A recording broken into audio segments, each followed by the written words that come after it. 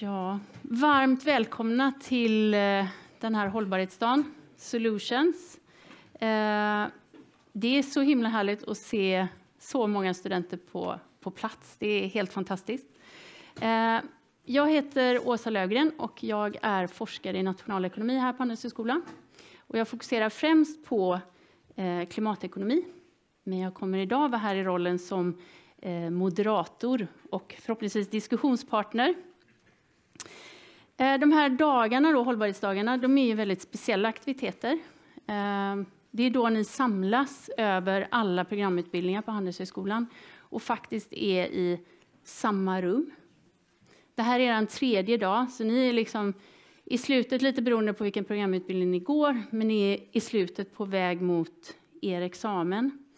Och jag tycker liksom, särskilt på den här dagen, den här tredje dagen, det här är liksom åttonde året som vi kör den här dagen, så blir det ofta en väldigt speciell, ett speciellt samtal. För ni kommer in nu med kompetens, ni kommer från olika håll och det märker man i frågor och diskussioner som blir. Så jag ser väldigt mycket fram emot det här. Eh, de tidigare hållbarhetsdagarna har handlat om utmaningar. Den första, challenges. Den andra försöker vi lyfta frågor om ansvar. Och jag tror ofrånkomligt att vi kommer komma in på ansvarsfrågor idag också. Eh, men idag ska vi zooma in på finanssektorns roll i klimatomställningen. Och innan jag presenterar vår kompetenta panel så ska jag också säga att vi streamar det här och eh, nätverket Rivest ska också känna sig varmt välkomna som tittar på det här på Youtube-kanalen. Och över tiden så vi har liksom märkt att det finns väldigt mycket frågor och vilja att diskutera och ställa frågor. Så en stor del av dagens seminarium kommer vi försöka släppa in i er. Och då kan man ställa frågor på två sätt. Ni som är här i salen kan mejla sustainability.handels.gu.se så får jag hjälp av mina duktiga kollegor att eh, försöka sortera i frågor. Det andra sättet kommer vara att eh, efter kaffet sen, invävt i våra diskussioner, så kommer ni kunna räcka upp handen på det gamla sättet och ställa frågor med mick. Så jag ska försöka göra det här som en, en blandning och ni som sitter och tittar streamat, ni kan ställa frågor i chatten. Eh, ja, så vi kommer köra nu fram till klockan två. Sen kommer vi ta en kaffepaus. Och efter det så fortsätter vi diskussionerna och då eh, kommer ni ha möjlighet att få svar på era frågor också. Men innan eh, jag kommer presentera panelen lite och ni kommer också presentera er själva så vill jag ändå säga någonting om det här temat som vi har om finanssektorns roll i klimatomställningen. Och det är egentligen bara en väldigt kort sak som jag vill säga och det handlar om den här omfattningen och hastigheten som klimatomställningen behöver göras på om vi ska nå de här målen som vi satt upp i Parisavtalet och som jag vet att ni har hört otroligt mycket om. Så jag vill ändå påminna om det som IPCC skrev i sin rapport i våras. Att unless there are immediate and deep emission reductions across all sectors, one and a half degree is beyond reach. Ibland är det liksom svårt, ibland är siffror bra, ibland är ord bra. Men i de scenarier som finns för att vi ska nå temperaturmålen, 1,5-gradersmålet, behöver vi halvera utsläppen globalt till 2030. Vi behöver minska dem med en tredjedel om vi ska nå tvågradersmålet. Det är 700 dagar i de flesta av de här scenarierna innan vi måste faktiskt böja ner den globala utsläpps, utsläppskurvan. 2025, det är 700 dagar bort. Det här är liksom en enorm utmaning, inte bara då för hur mycket vi behöver göra, utan också takten i det vi behöver göra. Så hur ska det här gå till? Vem ska finansiera den här omställningen? Och då vänder jag mig till vår panel som faktiskt på olika sätt representerar aktörer i det finansiella ekosystemet. Även du Viktor som är forskare får åka in där. Eh, och jag tänkte börja med Åsa Mossberg.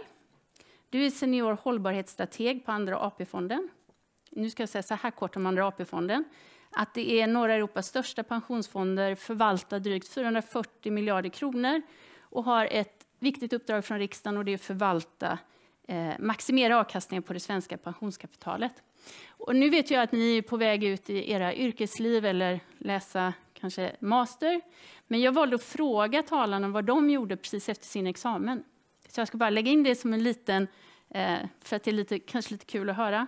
Och du Åsa berättade att du var finansanalytiker på Procter Gamble med alla deras produkter från schampo, halstabletter och blöjor. Du jobbade där i fem år och hade först fokus på nordiska marknader och sen Riga mot Baltikum och Belarus. Och då var det 90-tal, då skulle man konsumera så mycket som möjligt. Hållbarhet och miljö var inte på kartan riktigt.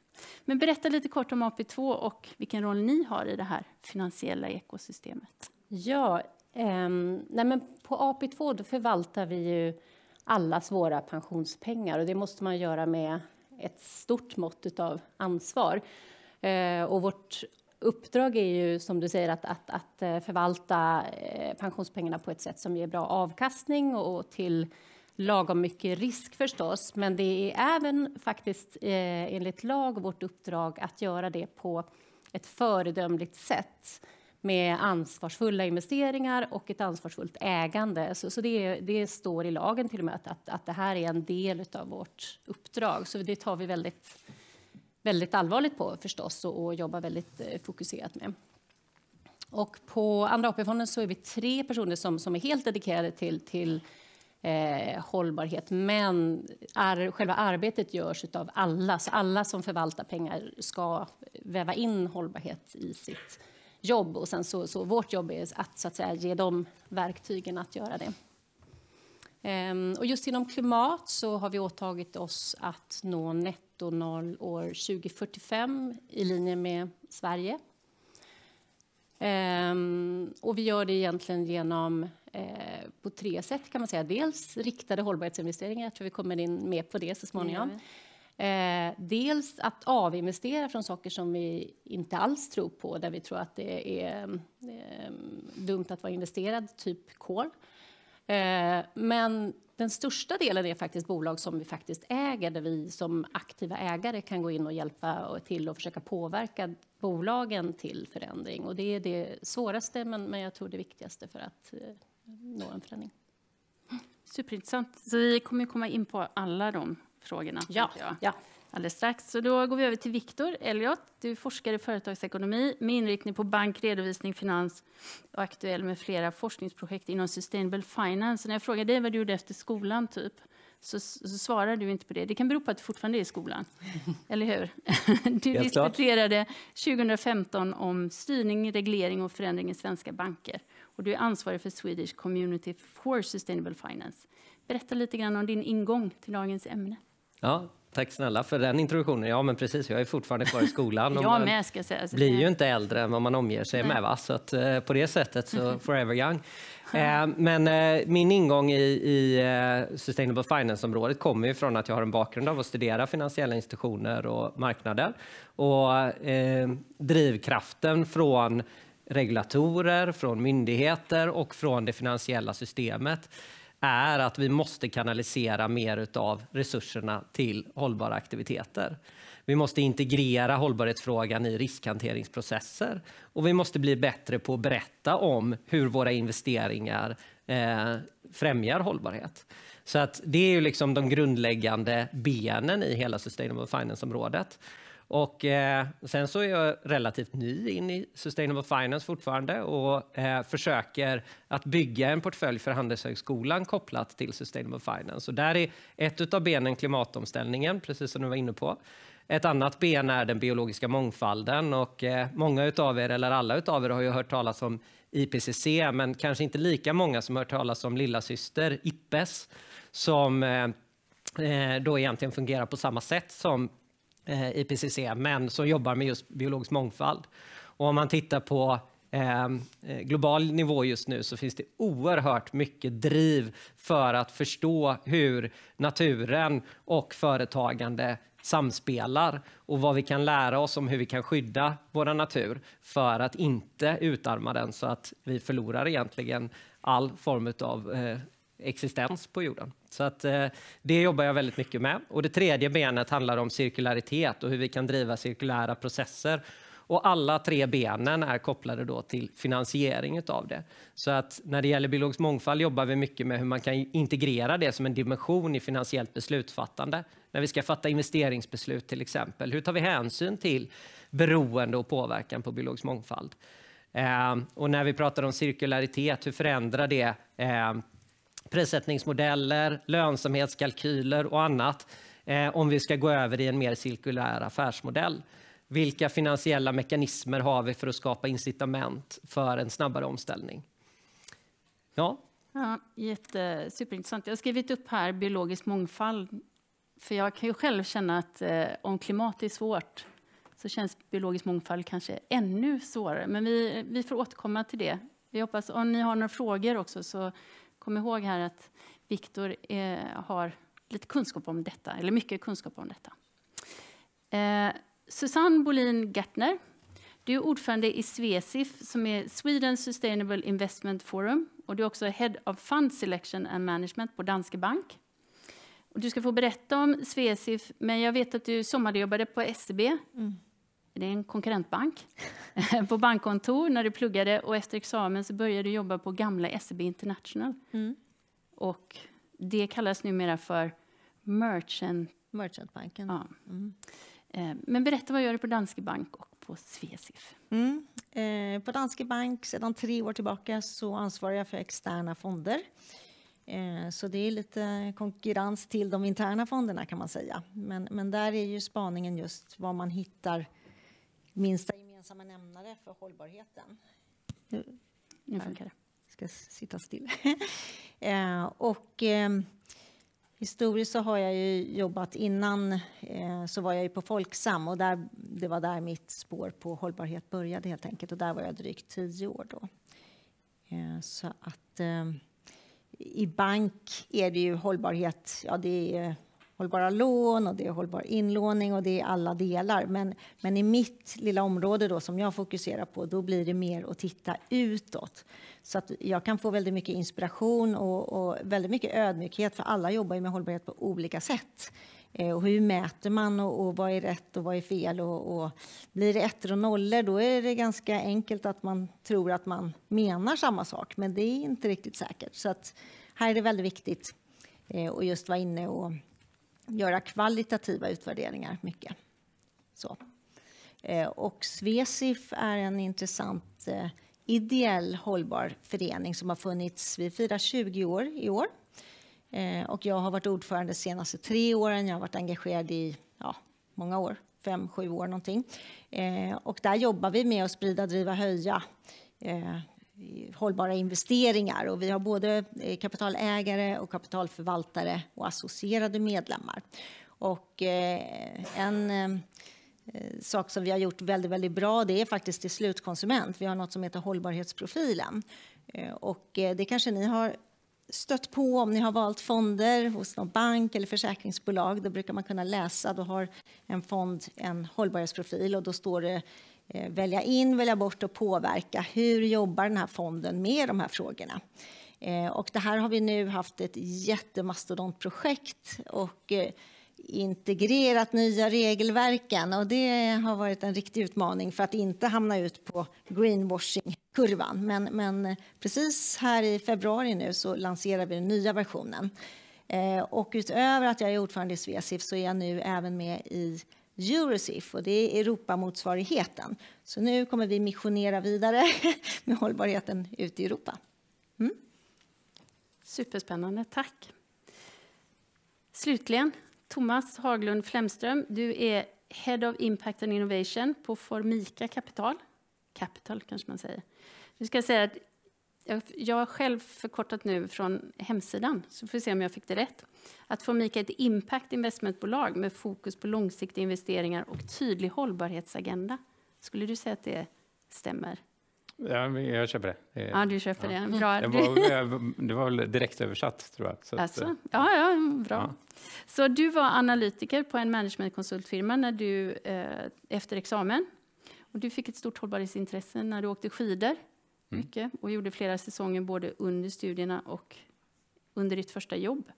Men berätta lite, vad gör Formica Och vilken ingång har du Eh, där? ja, men det, jag kan säga, jag var managementkonsult fram till för tre år sedan, så jag är ganska ny i finanssektorn. Eh, En av anledningarna till att jag sökte mig till finanssektorn var att jag jobbade då mycket med stora bolag och tyckte att trycket från finanssektorn var alldeles för dåligt.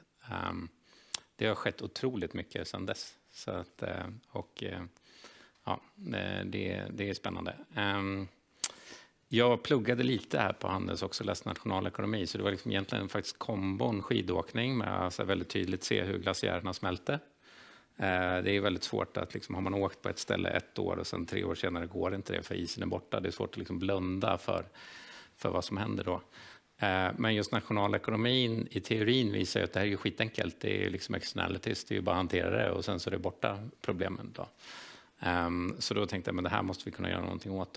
Ehm, Och eh, på, på Formica försöker vi göra vår, man får säga Formica, Ja. Formica som man vill.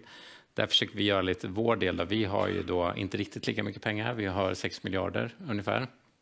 Eh, Och våran, våran roll är att investera dem i bolag som eh, kan göra nytta i omställningen. Så att vi skiljer på positiv påverkan och ansvar. Eh, där vi tycker att nej, men det är självklart naturligtvis att alla, alla som investerar ska ta ansvar för sina investeringar. Men vårt fokus är att eh, se till att våra bolag maximerar sin, sin positiva påverkan.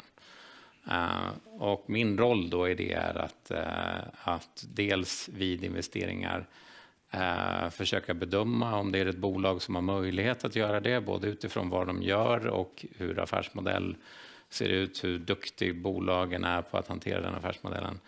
Eh, och sen hjälpa bolagen med eh, eh, det när vi är ägare. Då. Så vi är aktiva ägare, vi, ska, vi tar styrelseplatser etc. Så sitter med i ett, par av våra bolagsstyrelser. Mm. Jätteintressant. Är det både, när du säger eh, positiv påverkan, är det klimat eller är det liksom hållbarhet som ett brett begrepp? Vår, ehm, nej, vi, vi, det kan vara både miljömässigt och socialt. Vi har liksom mandat att göra eh, eh vad som helst. Sen kan vi, titta, vi gjorde en mappning på var, vad är det för system som förändras på grund av yttre tryck nu, där det också går, vad ska säga, vi, våra roll är också att maximera avkastningen och vi tror ju att det här är sättet man maximerar avkastningen här och nu. Ehm, eh, men, eh, och där är majoriteten av de lösningar som vi har mappat upp är inom miljö. Men eh, vi håller just nu på med två stycken investeringar som vi tror kan gå i mål. Som, ja, det ena har med cybersäkerhet och det andra med utbildning. Eh, så att eh, vi är inte, vi är inte begränsade till miljö. Men var, jag, jag plockar upp här den här långsiktigheten och så hoppar till en, en, en fråga där kring, och sen vill jag gärna höra era andra reflektioner också, men hur jobbar ni då med långsikt, långsiktighet kontra avkastning? Och, Mm. Eh, vi är inte kontra avkastning. Vi har ett ganska tydligt avkastningsmål och den, den långsiktigheten gör ju bara kanske att osäkerheten blir ett större i, i bedömningen av det. Men det... ehm, så- men hur har ni resonerat kring avkastningsmålet i, i relation till att vara långsiktig? Du ser ingen, det finns nej, jag ingen, ser eh, ingen, motsättning? eh, Nej, ingen motsättning alls i det. Eh, utan det gäller ju liksom för oss. Vi har ju som sagt ett begränsat kapital i förhållande till allt kapital som är där ute. Så, att, så att vi, vi, det kommer finnas investeringsmöjligheter för oss att investera där vi inte ens behöver begränsa oss någonting överhuvudtaget kopplat till avkastning. Utan snarare att vi ser ju den här enorma omställningen och den finansieringen som går in i eh, att ställa om både med European Green Deal och IRA i USA skapar ju fantastiska möjligheter att skapa värde för bolag som är rätt på bollen. Så att säga. Så långsiktigheten är mer med att vi tittar på, på de system som behöver förändras och försöker identifiera vilka saker är det som faktiskt gör någon större nytta i det här systemet och vilka saker kommer att vara med på sikt. Så att när vi, när vi gör en investering så då kallar det lite slarvigt impact-analys. Eh, då analyserar vi på eh, det här bolaget, det de gör, är det en viktig del i den här omställningen? Eh, för om det är en viktig del i omställningen då kommer det kanaliseras mer kapital från både kunder och eh, politiker etc.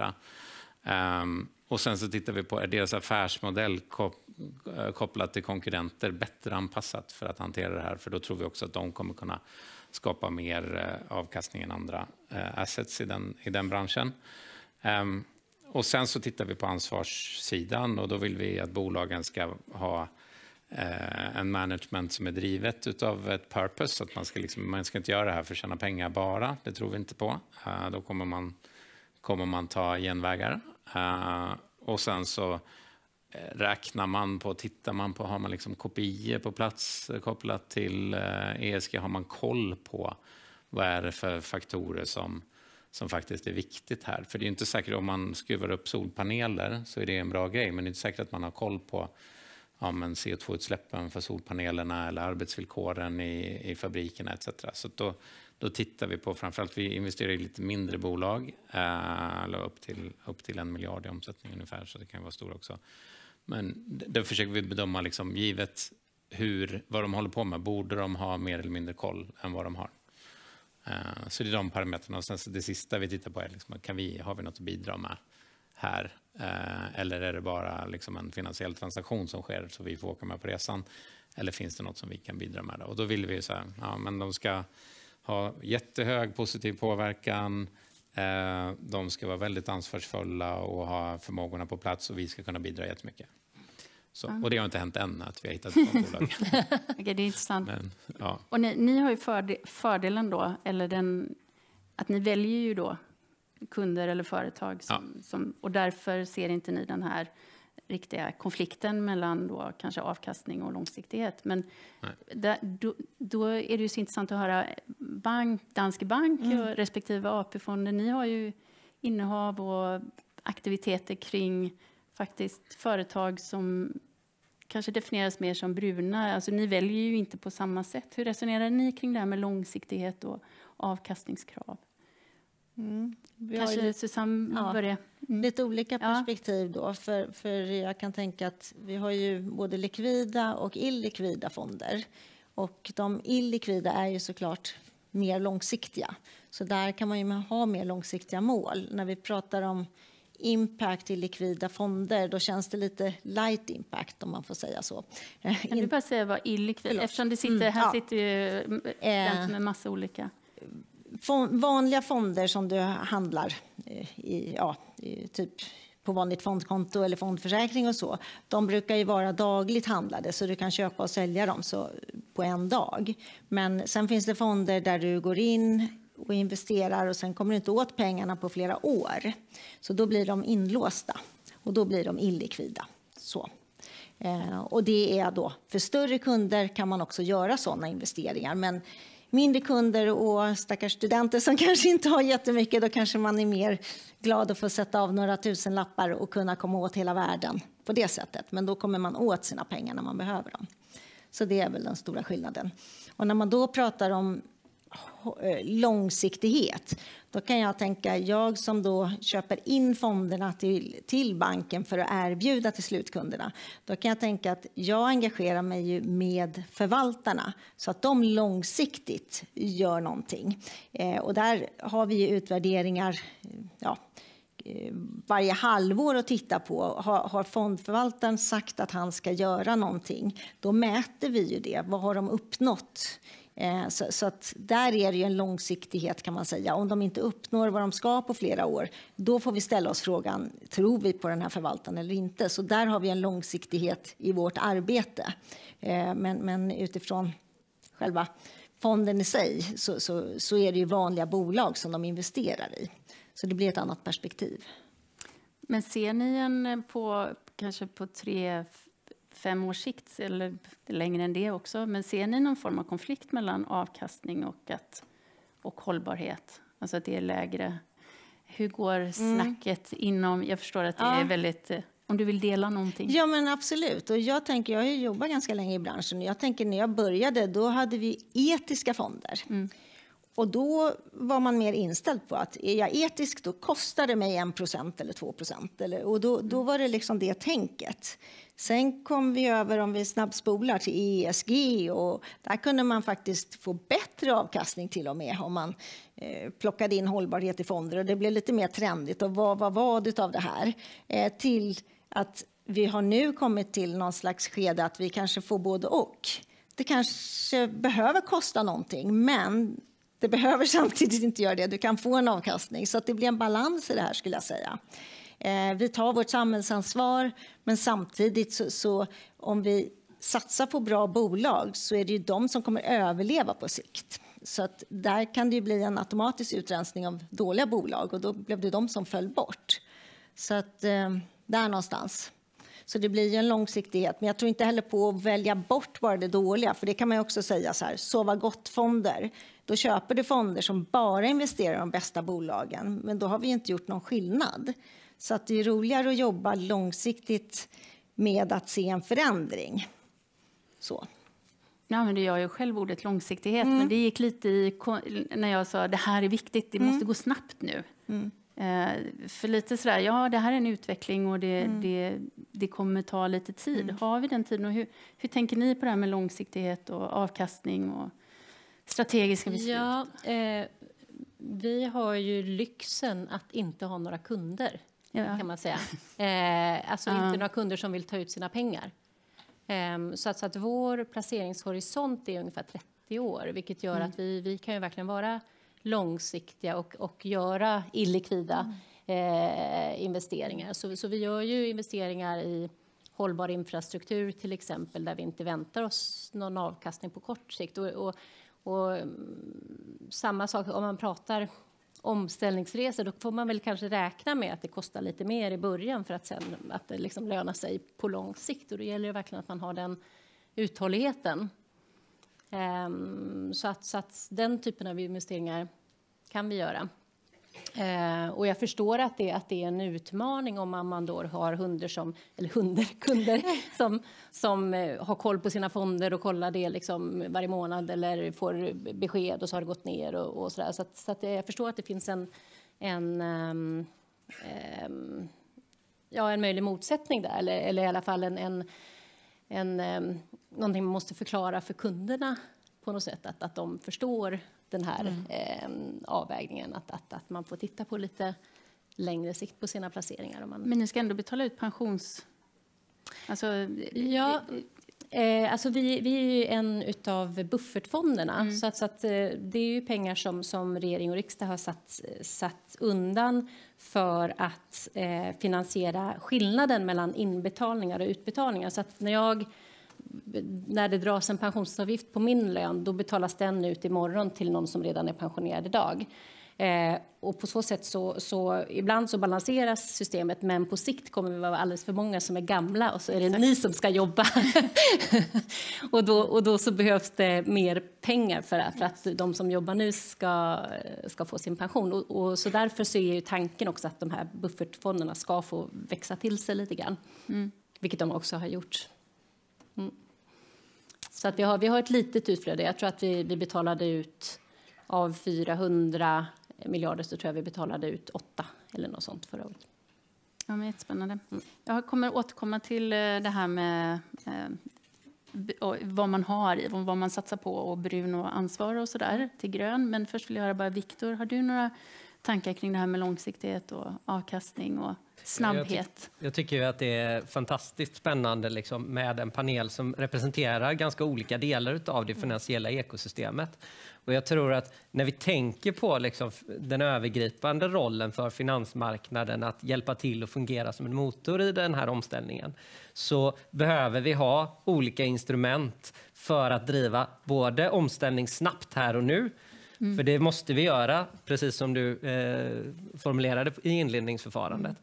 Men vi behöver också successivt, långsamt tillåta oss att det får kosta lite mer i början. Vi kan sedermera eh, kvittera ut eh, avkastningen av det. Eh, sen är det också eh, så att när man pratar om eh, avkastning så är ju alltid den andra sidan risk. Och det vi ser i allt större utsträckning det är ju faktiskt att riskpremien, alltså kostnaden för risk, den går upp mer och mer för alla typer av bruna investeringar. Och det är klart att där får man ju redan en, en, en ganska kraftfull eh, mekanism för ganska snabb omställning egentligen. PWC gör ju en årlig studie där de eh, frågar en massa analytiker om vad avkastningskravet på marknaden är. Och i den så säger de i den senaste rapporten att ja, skillnaden nu mellan om det är en grön investering eh, versus en brun investering är 2,5 procent i avkastningskrav. Så det börjar bli en ganska så liksom väsentlig skillnad i, i vilken typ av riskavkastning vi kräver eller avkastning för risk vi kräver för en brun jämfört med en grön investering. Eh, sådär. Så att, eh, återigen, jag tror att när, när, man tänker på det stora breda eh, finansiella ekosystemet så finns det olika aktörer som behöver fylla olika funktioner här. Och jag menar, vi kan gå till banken igen när ni mm. pratar om gröna lån mm. och när ni pratar om andra typer av vi kan, eh, så kallade revolving credit facilities som till och med kanske då är fokuserade på rörelsekapitalfinansiering, alltså när man investerar eh, ja, kundfordringar och leverantörskrediter och sånt. Alltså, även där vill ju banken finnas med i större och större utsträckning och då är det väldigt kortsiktig typ av finansiering. Sen så kan man problematisera den andra dimensionen mm, med mm. kvartalsekonomi och liksom de delarna. Då.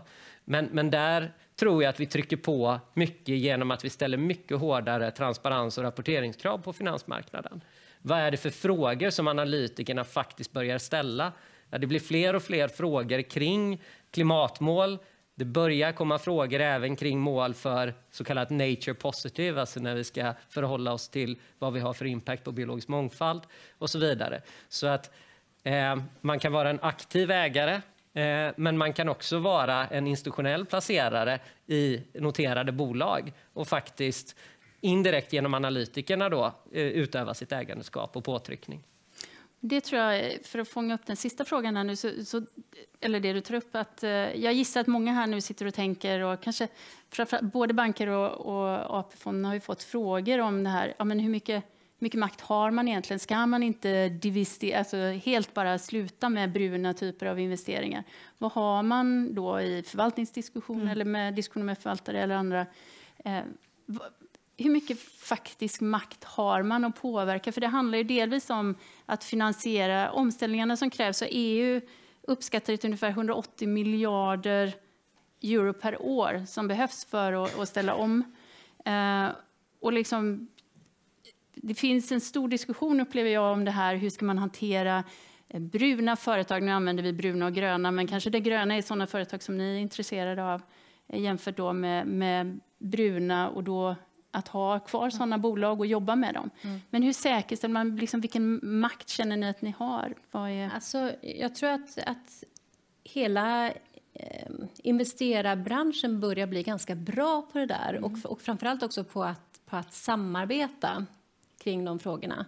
Och ett jättebra exempel tycker jag det är Climate Action 100 Plus.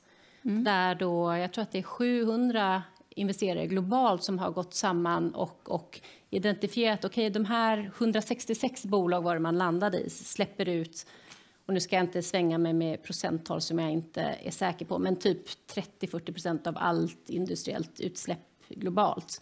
Vi går på de bolagen och vi går på dem hårt för att med våra gemensamma ägarandelar så, så, så har vi en del att säga till mm. om. Och sen så valde man då att bland de här investerarna så fick de då som var nära bolaget lokalt vara talespersoner och ha den här dialogen med bolaget och man satte krav på att man ska eh, ta in science-based targets och man ska tracka och man ska rapportera och man ska sätta mål och, och så vidare. Det finns ett antal sådana eh, milestones som, som, som man ska leva upp till. Och det har varit väldigt, ett väldigt bra sätt att, att gå samman och påverka tillsammans. Så där har till exempel Andra AP-fonden har varit en som tillsammans med Alecta och Öman har då eh, haft Volvo som mm. eh, bolag som vi har pratat mycket med i den här processen. Och jag tror att Volvo har uppskattat den dialogen också, därför att de får då investerarnas perspektiv och vi kan förklara, okej, okay, så här vill vi att ni ska rapportera och det här, eh, det här, de här förväntningarna finns och så. Så det har blivit ett jättebra samarbete. Har du någon tanke? Eh, jag kan bara säga att där är ett exempel på när vi eh, vill att de externa fondbolag som vi tar in på plattformen, att de signar upp på mm. Climate 100. Så, så, det är också hur, hur man kan, kan, vara med och påverka och då får vi ju ännu fler på samma mm. båt så att säga. Så att, eh, mm. Vad säger, i, I det här, när vi pratar om den här eh, omställningen som krävs. Ser, ser, finns det några så här finansieringsgap som du ser? Eller liksom täcker de aktörerna som finns nu, täcker de det som krävs? Jag... Um, alltså det, det, uppenbarligen finns det ett finansieringsgap uh, här. Uh, och, och det det beror väl, skulle min, min spaning är att det beror på att man har väldigt svårt att och liksom se hur den här omställningen ska gå till. Eh, så därför jämför man idag med någon slags prognos om framtiden. Eh, och då är det lättare att tro att eh, saker kommer att vara likadant i, i framtiden som det är idag än att tro på någons liksom, uppmålade framtid. Då. Eh, vilket gör att man då sätter 2,5 procents eh, riskpremie när det kanske borde vara mycket större faktiskt. Med tanke på om du tittar på hur IPCCs kurva ser ut. Och om vi inte, nu ligger vi inte enligt den, vilket innebär att det kommer behöva gå ännu fortare mm. efter 2030. Um, uh, så då borde ju uh, liksom gapet vara större faktiskt. Um, men aktörerna finns ju där. Alltså, sen kanske inte kompetensen finns riktigt där. Då skulle man inte plocka någon från, eh, från managementkonsultindustrin in i finansindustrin om kompetensen hade funnits där, skulle jag eh, säga. Då. Um, och jag tror att um, det kommer ta lite tid att bygga upp. Uh, och man behöver, tyvärr, vi har inte riktigt den tiden, men, men det kommer ta den tiden som det krävs för att uh, aktörerna ska ha, få in rätt kompetens för att kunna göra de här bedömningarna om hur framtiden borde se ut. Eftersom det är det man investerar på hela tiden. Man investerar ju alltid på liksom en forecast på, på framtiden. Då. Um, så att ehm, eh, aktörerna med liksom sådana som oss och som er och private equity-förvaltarna eh, etc. De finns ju där uh, och de blir bättre och bättre. Uh, sen kommer det en, en, ny generation som kommer pressa på dem ännu snabbare uh, och vi kommer fortfarande att få lite sådana, men det finns en äldre generation som det är rätt bra att den försvinner för de tror fortfarande inte på det här. Eh, är min bedömning. Som generation, som individer finns det fantastiska individer. Eh, men som generation så tror de fortfarande inte att, att hållbarhet är speciellt viktigt. För de, de, även om de har barn och barnbarn och så, så, så är det bara jobbigt att tänka på att framtiden kommer att vara annorlunda. Eh, så det kommer ta lite tid, men aktörerna som finns där, de, de, finns där. Pengarna finns inte, kompetensen finns inte, men aktörerna finns. Vad tror du, Viktor? Finns aktörerna? Saknas det någon någon särskild aktör eller kan alla utifrån sina roller ta ansvaret som finns nu liksom, och, och bidra till omställningen? Eller... Alltså, jag, jag, tycker det du, Thomas säger här är väldigt intressant för att jag, det är väldigt eh, nära egentligen den upplevelse som jag har också. att det är inte en brist på aktörer och kanske inte i alla lägen ens en brist på pengar. Men det är en brist på rätt typer av incitamentstrukturer och det är en, brist, eh, en stor brist på kompetens. Eh, och den bristen gör ju att om vi går tillbaka till den bredare finansbranschen så är det ju fortfarande förhållandevis, eller väldigt, väldigt få som kan någonting och förstår någonting om hållbarhet. Jag sa förut när jag inledde att mm. jag är relativt ny in i den här världen. Jag har hållit på i tre år. Eh, men det är ju fortfarande så att om jag ska prata med dig om hållbarhet som har hållit på med det här i 25-30 år, mm. så har ju du en helt annan grund och rot i det. Mm. Om vi då går över till vilken finansiell aktör som helst och med analytiker som är tränade på Handelshögskolan i finans eller på Chalmers eller KTH i liksom, matematisk statistik och sen har tränats in i att det är bara risk och avkastning som gäller. Det är det enda som vi eh, ska tänka på. Att då börja jobba med nya typer av modeller, nya typer av frågeställningar, nya typer av resonemang för att driva på eh, och hitta rätt typer av finansieringstillfällen. Eh, det är väldigt utmanande. Och där har vi också en annan närliggande utmaning som, eh, som jag tycker är väldigt spännande som handlar om data och vilken typ av data vi har för att fatta de här investeringsbesluten. Därför att finansmarknaden som du är inne på, den är framåtriktad men i stor utsträckning baserad på väldigt, väldigt liksom, högfrekvent uppdaterad data. Men mycket av den hållbarhetsdata som vi har till godo, den uppdateras inte alls lika frekvent. Och då kommer man igen in i den här kompetensutmaningen. Hur ska någon som är tränad på att jobba med vissa typer av statistiska modeller och prissättningsmodeller jobba med databaser som kanske uppdateras en gång i halvåret eller ännu mindre frekvent?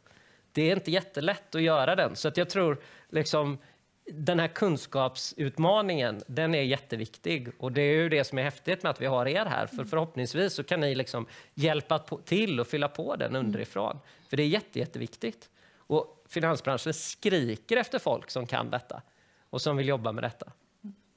Men det finns ju inte heller alltid data mm. som vi tänker, kvantitativ data till och med på vissa av de här aspekterna. Jag vet du sa mm. något på lunch där, eh, Susanne, om ja, hur man följer upp sådana här ja. ESG. Och... Nej, men det, är ju, det blir ju man vill ju lätt tro på siffror för vi håller på att standardisera. Eh, men, men eh, just nu så känns det som att man kan tro att man jämför jämförbara siffror men, men det är helt olika databaser bakom så det betyder helt olika saker. Och det är därför jag menar att just nu behövs det extra mycket kvalitativt. Man behöver fråga vad står bakom de här siffrorna, var kommer de ifrån? Eh, och, och, vissa jobbar ju med att bara tanka externa data och kanske inte ens ifrågasätter dem. Eh, medan andra kokar ihop från flera leverantörer och sen sätter de sin egen approach på det och, och utvärderar med en egen modell. Och, och, då blir det väldigt svårt. Det går inte att jämföra sida vid sida utan du måste få en helhetsbild. Men sen vill jag tillägga till det här andra att finansbranschen i all ära, vi kan göra väldigt mycket, men vi kommer aldrig kunna lösa alla problem, utan här är det ju alla samhällsaktörer och offentliga sektorn och, och regelverk och, och liksom prissättning eh, och, och såna här saker som måste in på ett tydligare sätt. Och bara som oss som medborgare, ska alla köpa elbilar? Vad det är lösningen? Nej, nästa år är det något annat. Det är en osäkerhet i hela marknaden. Eh, så, ja. Mm, Victor? Nej, men jag måste ju vara mm. jobbig då. För att jag tycker att finansmarknaden och finansbranschen mm. har ett enormt ansvar här. Och jag tycker inte än så länge att man riktigt tar det ansvaret. Även om vi har mm. tagit stora, och jag är en del av det. Mm. Eh, även om vi har tagit stora framsteg på tre år och nu liksom på riktigt pratar om de här sakerna och börjar integrera det på riktigt i våra riskhanteringsprocesser och sådana saker, så är det ju fortfarande långt ifrån att vi är framme kompetensmässigt och långt ifrån att vi kanaliserar på rätt sätt. Och när en liten entreprenör kommer för att de vill finansiera någon form av, låt oss kalla det för en eldriven grävskopa till exempel, kommer till banken och säger att ja, men den här skulle jag vilja få finansiera. Den kostar tre gånger så mycket som en dieseldriven grävskopa. Ja, okej, okay. men hur kommer du att motivera det från ett intjäningsperspektiv? Vad är andrahandsvärdet på den? Hur ska vi hantera det från våra traditionella riskhanteringsprocesser? Nej, det går inte. Utan man måste tänka och räkna på ett helt annat sätt från bankens perspektiv då. Och våga kanske vara med och finansiera en sån. Och där är vi inte framme än tror jag. Även om vi är på väg mm. så finns det mycket kvar för finansbranschen att göra där. Vilket är kul. För det gör ju att vi har massa att lära oss. Mm. Men finansbranschen är en pusselbit i det hela och självklart, vi jobbar ju på, men liksom allting måste ju integreras. Ja, absolut. Ville du? Eh...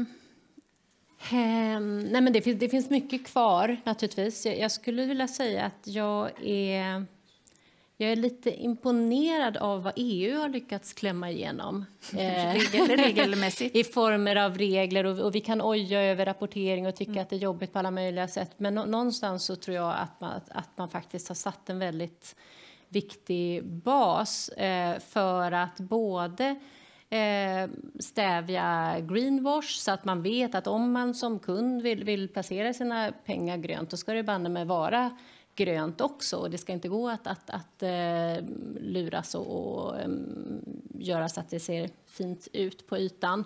Och vilket också gör att, att det har blivit en enormt mycket större utbud av gröna obligationer till exempel, som är ett jättebra sätt att finansiera projekt. Så, och även då bruna företag ger ju ut gröna obligationer för att göra gröna saker mm. eller, eller investera specifikt i saker. Och där finns det också Alltså det krävs det här. Det känns, det känns eh, jobbigt när, när man inför det men jag tror att den här strukturen som kommer på plats nu kommer att hjälpa mycket för då vågar man också göra investeringar för att det finns en bättre, bättre krav på uppföljning och bättre krav på att, eh, man kan följa pengarna till där de sägs att de ska investeras också. Det, det är jättebra. Det kopplar nämligen till, eh, eller det är intressant att eh, det kopplar ju till reglering. Här sitter säkert jurister och eh, ekonomer, miljövetare och studenter från logistikprogrammet som väldigt många har kunskap om reglering och hur det funkar. Och väldigt många, precis som Thomas började med att säga, läser man nationalekonomi eller ekonomi överhuvudtaget så tänker man vad är problemet? Vi kan väl bara prissätta de här externaliteterna. Eh, och mycket av min forskning handlar om att prissätta externaliteter. Och, eh, man kan ju säga att väldigt mycket av de risker som kanske är felbedömda handlar om hur man ser på framtida regeltryck och prissättning, vad det faktiskt kommer kosta att släppa ut eller kostnader kopplat till biodiversitet och andra hållbarhetsmål i framtiden. Eh, och anledningen till att vi pratar om de här regelverken som tenderar att vara väldigt detaljrika och handlar om att försöka få bort greenwashing istället för att kanske ha ett jättehögt eh, eller korrekt pris på, på koldioxidutsläpp. Hur, vad, vad, tror ni, hur kommer det sig att eh, det är så svårt att sätta det här priset som hade löst hela... Ja, det hade inte löst allting, men vi säger, det hade ändå varit ett viktigt steg på vägen att prissätta korrekt på marknaden. Vad är det som gör det så svårt att få igenom den typen av mekanismer? Och... Ja, ja först och främst, jag tycker, tycker, absolut att man ska sätta ett pris på koldioxid, så jag tycker inte att regleringarna ersätter det. Men, men, men eh, det, det, tycker jag också skulle vara ett väldigt viktigt och, och rätt steg. Um, och problemet är väl politiskt, som jag ser det. Men, men jag tycker det, det, ehm, det är ju först när, när man får betala för det som, som det händer på riktigt på något sätt. Mm. Thomas? Ja, men, um, det, det, är ett politiskt problem, absolut. Och det politiska problemet skulle jag säga grundar sig i, i dina stranded assets som uppstår så fort du sätter det där priset. Så är det massa saker som helt plötsligt blir mindre värt någonting. Och det är både ett problem för att det finns en massa människor som kommer motsätta sig det. Men det är också ett litet moraliskt problem för oss som samhälle. Liksom att, men vi har ju satt de här reglerna och utifrån det så har ni gjort investeringar och allt eh, sånt som gör att ni helt plötsligt, eh, eh, eller som har, som har värdesatt det till det här. Och ni kanske belånat ert hus för att köpa den där skogen eller etc. Så kommer det nya regler och så är det inte värt lika mycket så över en natt. Då. Det blir ju ett enormt liksom, politiskt problem och det blir ett problem för individen och också ett moraliskt problem. Så därför är det rätt rimligt att den här resan ska, liksom, det ska vara en transition snarare än en revolution. Och vi kan inte sätta vilket pris som helst på, över, en, över en natt, även om det skulle lösa problemet. Då. Eh, men sen så måste jag också liksom flika in där på de regleringar som EU har satt och som, ja, det var väl liksom 6-7 år sedan man började sätta dem. Det är ju ingen som fortfarande idag fattar vilket enormt tryck det kommer att sätta mm på det här med taxonomin. Man kan tycka vad som helst om att liksom kärnkraft är med i taxonomin och naturgas. Jag tycker det är fel, men det, det spelar känner, ingen känner roll. Känner du dig bekväm liksom. att säga några ord om taxonomin? Ja. För det är inte säkert att alla... Nej, bara en sån ja. Eh, sak då. eh, nej, men så taxonomin är, är en... Eh, kommer från att EU har sagt att nej, men om du ska investera pengar så måste du veta vad du investerar pengar i. Uh, om du vill investera grönt så måste du kunna veta, precis som kravmärkning, så ska man kunna liksom märka en, en fond. Uh, eller vad du nu vill investera i, grönt. Och då har EU helt enkelt sagt att då måste vi definiera vad som är grönt. Uh, och det kommer ehm, träda i kraft lite gradvis här nu. Det är en del av ett större paket som jag blandar ihop alla de här fyra bokstavsförkortningarna hela mm. tiden. Då, men, Eh, där som också kommer ta in hur du ska rapportera eh, Eh, för att då finansiärer ska kunna sen meddela de som har investerat eh, då, eh, om saker och ting är grönt eller inte. Och det blir naturligtvis en massa diskussioner om eh, vad är grönt och vad är inte grönt. Då. Dels utifrån de här människorna som har investerat i det som inte var grönt, som vill att det ska kallas grönt. Och dels ifrån att det bara är jävligt svårt att veta vad som är grönt, helt enkelt. Då. Ehm, och, ehm, ehm, men man har ändå fått igenom det. Kanske för att det har varit så svårt så att politiker inte har fattat vad man har röstat igenom. Troligtvis det, skulle jag gissa.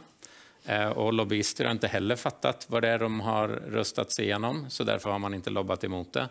Och nu kommer det här, nu finns det liksom ingen, eh, vi är liksom åkt ner om man tar skidåkning, vi är i korridoren, liksom, vi kan inte gå upp igen utan vi måste bara åka den här vägen neråt. Och det kommer få enorma effekter på framförallt finansindustrin Eh, och framförallt större bolag, men även en del mindre bolag som vi eh, investerat. Vi har investerat i världens största bergvärmeborrningsföretag till exempel som blir från att så här, man var lite brötig industri med eh, mycket östeuropeiska borrare som står i leran och borrar till att liksom stämpla som det här är grönt.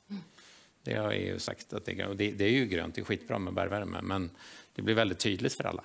Så man behöver inte sitta ner som vi gjorde när vi investerade och kolla på okay, hur mycket utsläpp är det utav diesel när man borrar, vad är liksom snittutsläppen på eh, eh andra värmesystem, vad kommer det för nya värmesystem? Utan man kan bara konstatera, okej, okay, där är grönt, det är ju sagt.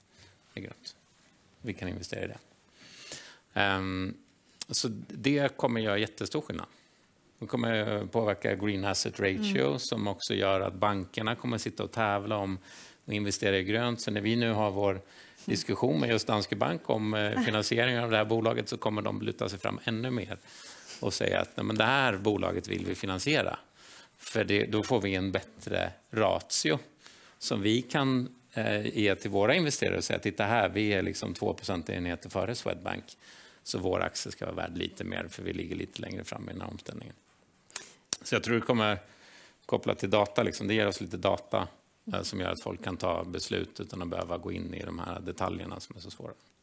Är ni redo på bank och AP-fonderna för den här taxonomin och nya regleringar? Eller känner ni liksom kompetensmässigt, finns det där? Är det, är det svårt att förstå? Är det liksom... Känner ni er? Jag tänker nog att det är ju att gilla läget. Det här är den spelplan som ges nu. Jag kan bara ge en liten sån här inside för det här med att ta in naturgas och kärnkraften in i det gröna.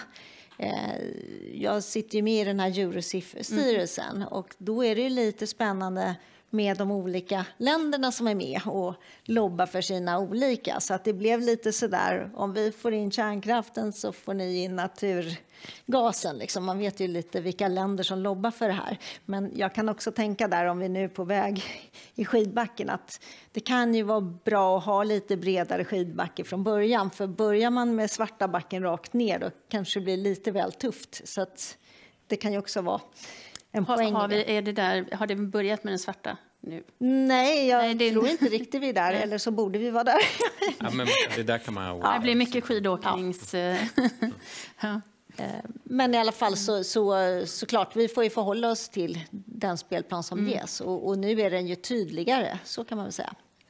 Så att, mm. Har ni några tankar kring eh, Ja, men jag, jag, ser också mest... För oss är det fördelen att vi kommer mm. få, få mer data mm. eh, och så. Eh, vi behöver inte själva rapportera på det än egentligen. Eh, vi träffas inte själva utav det, utan, utan vi kan ju så att säga avvakta lite grann tills vi har tillräckligt bra data från... För någonstans bolagen måste ju rapportera för att mm. vi ska kunna aggregera någonting.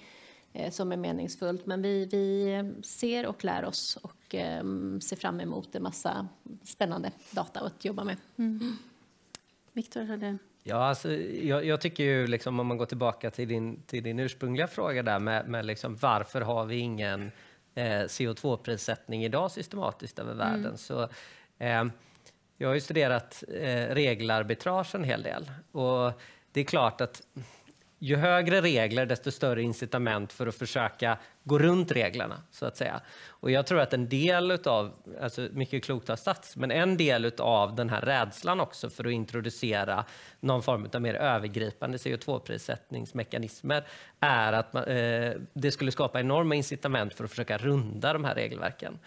Ehm, så det, det, tror jag finns med och jag tror att det finns med väldigt mycket om vi tittar på hur regleringen utformas nu också. Att vi kommer att hitta mycket avarter, vi kommer att hitta mycket märkligheter eh, i de här regleringarna för de har gått förhållandevis fort eller extremt fort för att vara EU. Eh, och de har dessutom eh, ner på väldigt teknisk nivå i många fall. Och det gör att liksom, för de som är skickliga på att navigera runt det där så, så finns det utrymme att, att hitta sätt att runda det. Och det, det eh, är intressant, men, men det är också Eh, förhoppningsvis så att de transparenskrav som ställs leder till att, att eh, förr eller senare så avslöjas de och så blir det greenwashing av det och så försvinner de avarterna successivt.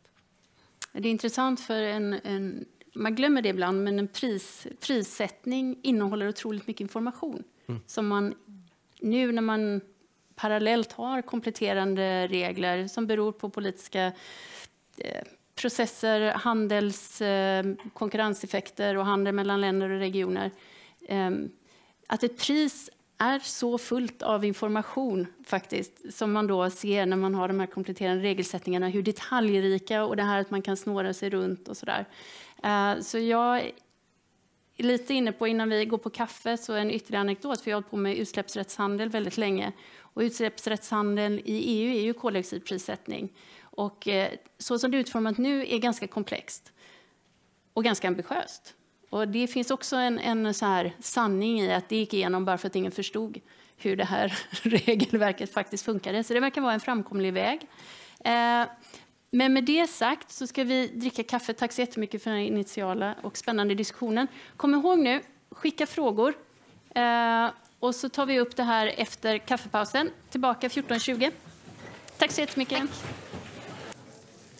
Hoppas ni har fått i er lite kaffe. Så ska vi börja den andra delen av det här seminariet. Innan vi gör det så ska jag hälsa att det kommer gå runt närvarolistor. Och vad ni behöver göra Eh, nu och efter det här spåret står listat här. För att bli godkända på hållbarhetsdagen ska ni medverka på hela spåret, genomföra Sully-test och då finns instruktionerna eh, på Canvas. Och där är deadline 7 andra och sen svara på enkäten som skickas ut i eftermiddag till era studentmejl. Så håll koll på det. Var det det jag skulle säga? Perfekt. Eh, nu är det så att vi har ett antal personer som har mikrofoner är, är ni här inne? De är längst upp. Okej. Okay. Ja, där, det, det, är listorna bara, men finns de med mikrofonerna här inne också? Okej, okay, bra. Ni delar ut listorna och sen så kör vi igång med en frågestund eh, slash samtal. Eh, jag kommer börja ställa en fråga som har kommit på chatten, säger jag, men det, ni har skickat den till min Teams-mail. Ja, eh, vi kallar det för chatten. Eh, men sen kommer vi att öppna upp för frågor här inifrån salen lite och då finns det som sagt mikrofoner som kommer gå runt.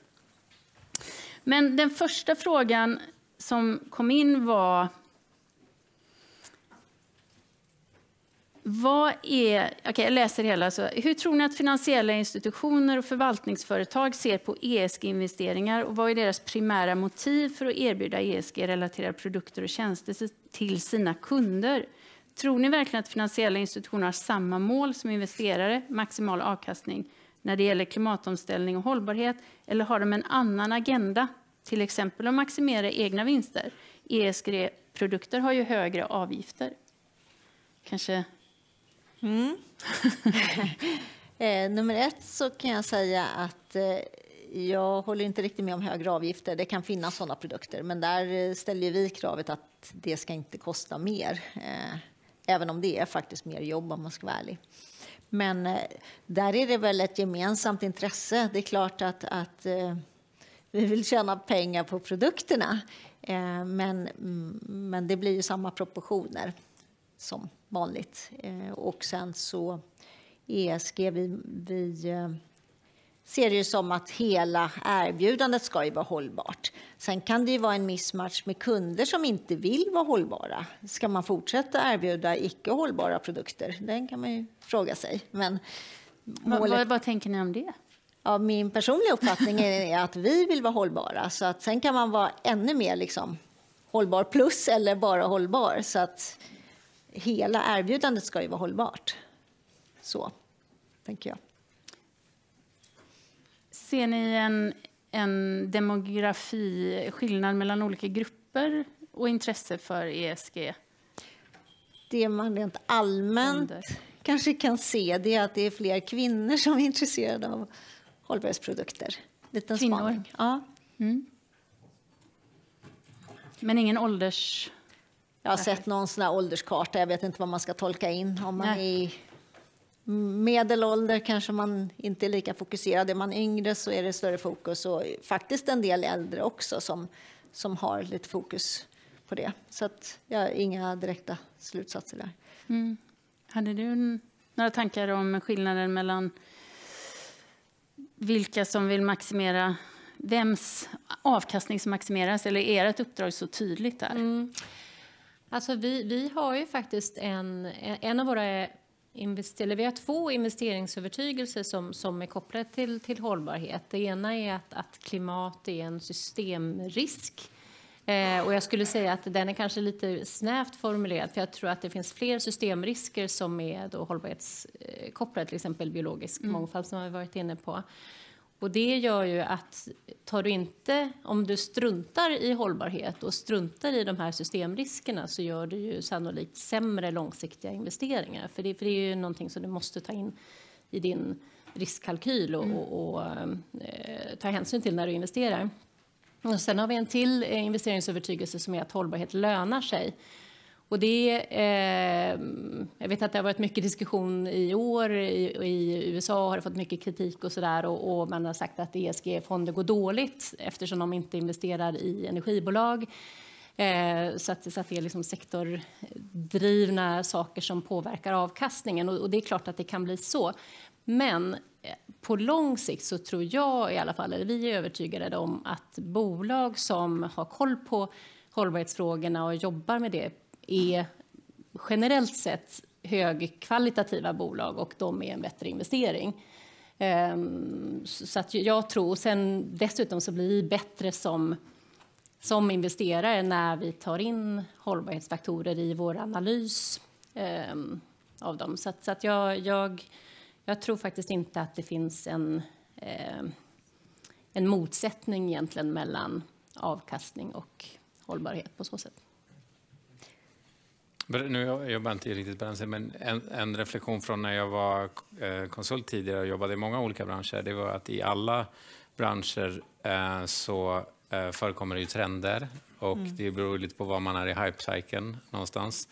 Eh, och just nu så är ESG verkligen på toppen i hype-cykeln i finansbranschen. Så det är klart att det finns många som vill liksom tjäna pengar på det.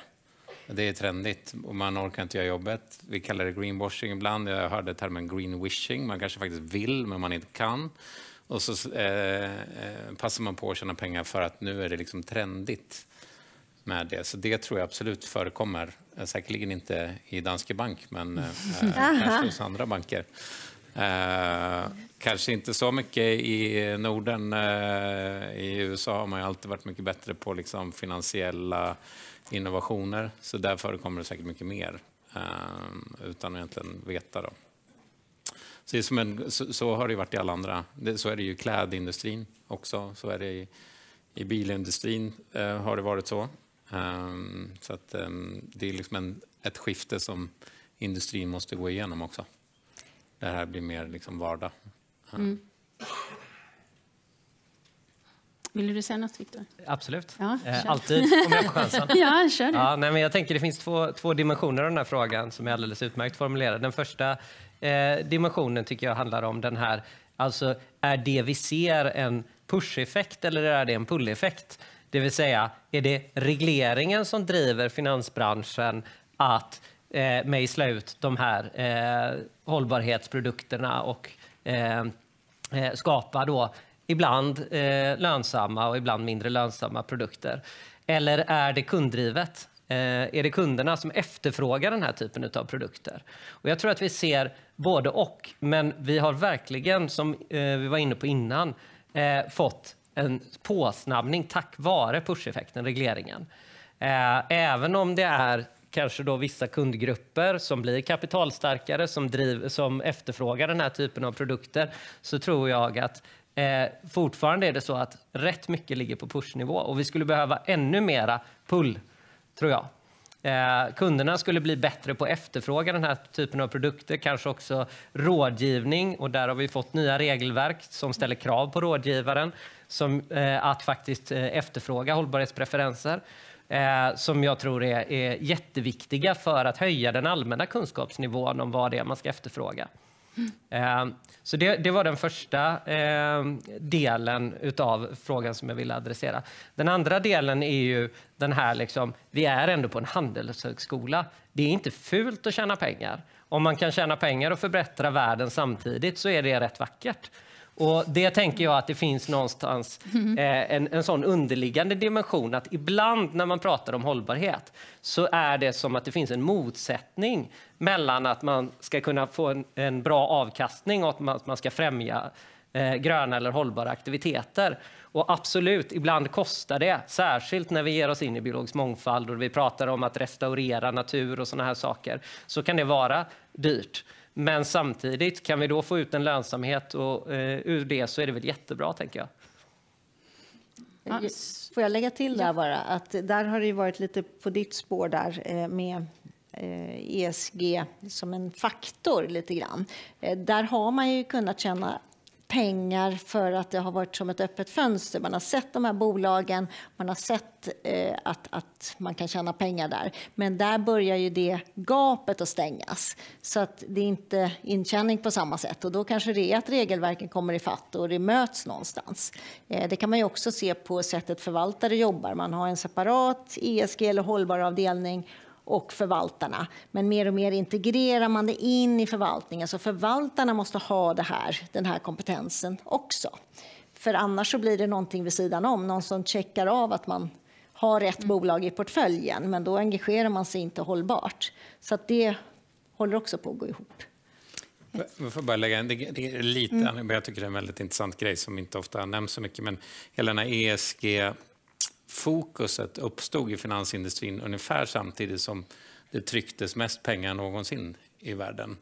Och min reflektion, och även andra som jag lyssnar på, de, det är ju liksom att det när du investerar finansiellt så kan du antingen investera i liksom stabila kassaflöden, äh, när du investerar i företag äh, som, som investerar, kan du investera i, i, stabila kassaflöden eller så kan du investera i tillväxt. Och någonstans när det trycktes väldigt mycket pengar då blev det väldigt svårt att investera i stabila kassaflöden. För jag menar, kassaflödena kunde inte förändras någonting bara för att det fanns mer pengar. Men däremot eh, förhoppningen om en snabb förändring i framtiden, den är mer elastisk. Så när det fanns mer pengar så kunde förhoppningen om framtiden förändras. Och det gjorde att det blev mycket lättare att, eh, att sälja på ESG och digitalt. Så båda de eh, tillgångslagen gick upp väldigt mycket i värde under eh, pandemin. Uh, vi satt när pandemin kom och funderade på, liksom, okej, okay, helvete kommer liksom alla glömma ESG nu, för nu ska det bli kris och nu ska vi fokusera på det här. Mm. Uh, vi hade inte alls räknat med den effekten som kom. Det var ju, liksom, det var ju då som den stora gröna vågen kom. Och det är klart, om du ser ett tillgångslag som går upp väldigt mycket, Eh, Eh, om du är lite nära marknaden, kanske, du kanske inte bryr dig om hållbarhet. Du ser bara att de här grejerna stiger mycket fortare än de här grejerna. Förut var det digitalt, nu är det ESG. Då hoppar du på den, eh, den delen. Då. Och det, har, det kan ju låta lite girigt, sådär, men det har ju varit skitbra för omställningen. För det har gjort att det allokerats massa kapital till. Om du kollar på alla sådana här SPAC, som var en sån teknisk term, men som special Eh, acquisition vehicles där du kunde sätta på börsen ett bolag som inte hade något annat än pengar. Liksom majoriteten av dem har ju gått till bolag inom ESG-världen eh, som har eh, värderat de här bolagen alldeles för högt för liksom vad deras kassaflöden eller ens framtidsutsikt medger. Men det har gjort att väldigt många har tjänat väldigt mycket pengar på det här. Vilket har gjort att väldigt många andra vill tjäna pengar på det här. Och nu har de här bolagen som kommer som faktiskt kan hjälpa till eh, till stor del. Då. Men är det en grön Så. bubbla då? Ja, men det, det har ju varit en grön bubbla utifrån liksom ett kassaflödesperspektiv. Sen eh, tror jag fortfarande att man liksom har underskattat hur fort det här måste gå.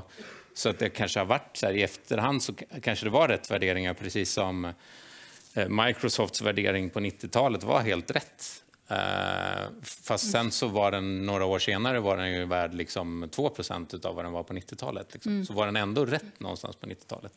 Och det är de här uh, cyklerna är väldigt svårt att hantera i finansvärlden.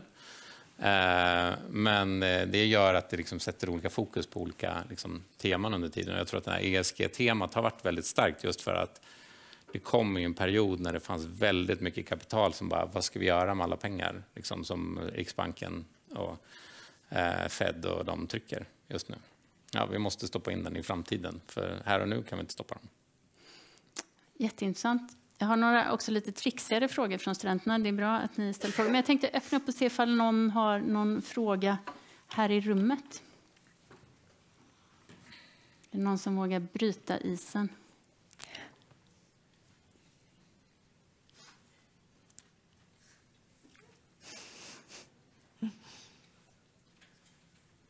Ingen som vill bryta isen?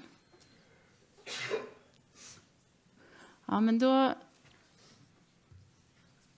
Ja, då väntar vi en liten stund till och så får ni vara redo. Det är alltid lite läskigt första som ställer frågor, men det är också roligt att ha en, en dialog. Men jag ställer nu en trixig fråga som är riktad till dig.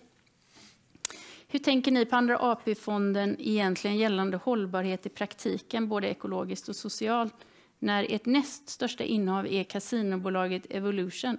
Hur går resonemanget kring problematik gällande kasino och betting? Är det hållbart och etiskt? Um, vi... Eh, det är ganska få... Vi gör, visst, det är vissa saker som vi exkluderar, där vi exkluderar en hel bransch eller en hel eh, industri. Och det är dels saker som bryter mot konventioner och svensk lag.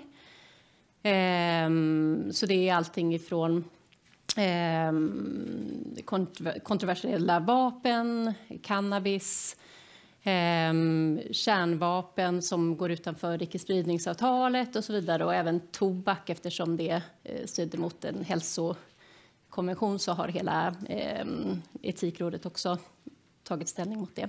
Mm. Eh, spelbolag, det är lagligt i Sverige. Eh, svenska staten äger spelbolag.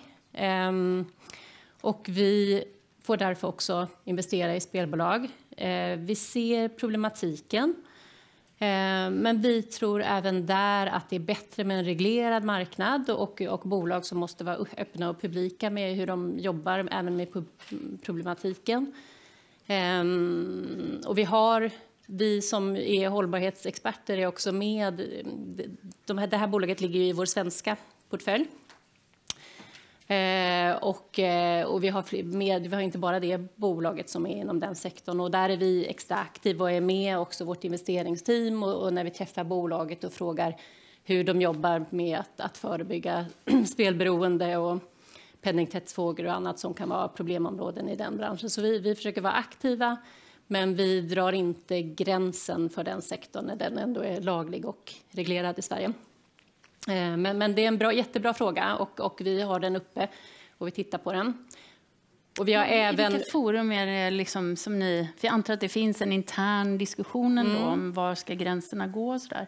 Är det, har ni formella möten kring det här? Eller är Ja, vi, har haft, vi har, faktiskt eh, nyligen haft ett, en eh, praktikant härifrån Handelshögskolan som har tittat på... Och då gjorde vi så att vi benchmarkade oss mot ett antal eh, pensionsfonder och andra fonder globalt och tittade på okay, vilka olika såna exkluderingsgrunder finns det och, och hur resonerar andra och är det någonstans där vi resonerar olika. Mm. Ehm, och då kan man säga att vi exkluderar ganska mycket saker eh, jämfört med de flesta. Det här är en där, där några eh, ligger framför oss. Ehm, så den kom upp på diskussion. En annan som kom upp på diskussion är porr. Mm. Eh, som vi inte explicit har exkluderat. Ehm, men det finns inga bolag att investera i just nu som är tillräckligt stora. Men, men det är också en sån bransch som, som vi har eh, som vi absolut inte vill få exponering mot. Så, så det har vi också mm. eh, börjat fundera kring om, om, om vi ska proaktivt då, eh, se mm. det. Men så, så det är väl någonting vi regelbundet gör. Vi ser oss omkring i världen och, och funderar på vad vi behöver ta mm. ställning mot.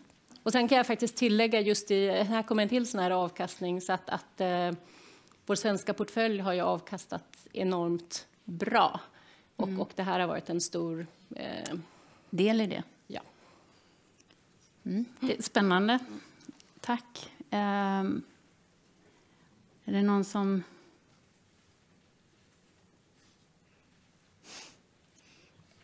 Det här är den... Ja, där är min fråga.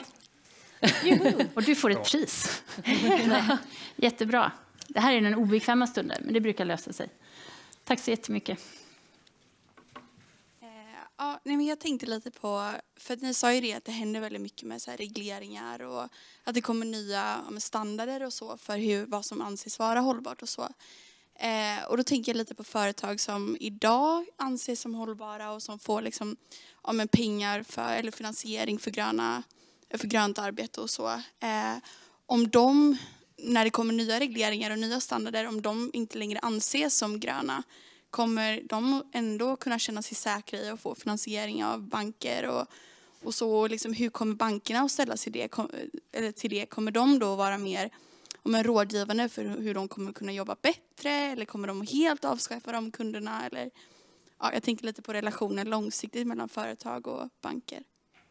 Superbra fråga tycker jag och kopplat till just eh, när jag var på COP-möte, de här klimattoppmötena då det var väldigt mycket diskussioner om liksom vilken roll till exempel långivare har i... Det handlar ju lite om då de gröna helt plötsligt är bruna och hur man stöttar upp och lite som du var inne på, man ändrar helt plötsligt kontrakten över tiden och hur ska man tänka på det här? Har ni några reflektioner som svar på? Jag kan börja. Mm, kör. Ehm, så kan experterna få fylla på sen. Men alltså, jag tycker egentligen eh, att föregående svar här var väldigt bra i förhållande till det. För att om man tittar på utvecklingsresan som finansbranschen har gjort bara de senaste fem sex åren när det gäller eh, sustainable finance som bredare begrepp så kunde man ju fråga relativt stora finansiella aktörer för fem år sedan vad deras hållbarhetsarbete innebar och då handlade det om att reducera pappershanteringen och resandet i organisationen. Och det är alltså fem, sex år sedan, så det har gått väldigt fort här. Och under den processen så har också väldigt många finansiella företag eh, lärt sig att det här med att exkludera är väldigt svårt. För om vi exkluderar någonting så innebär det också att då är det någon annan som ska gå in som ägare eller finansiär i det bolaget istället, om de inte ska försvinna helt och hållet.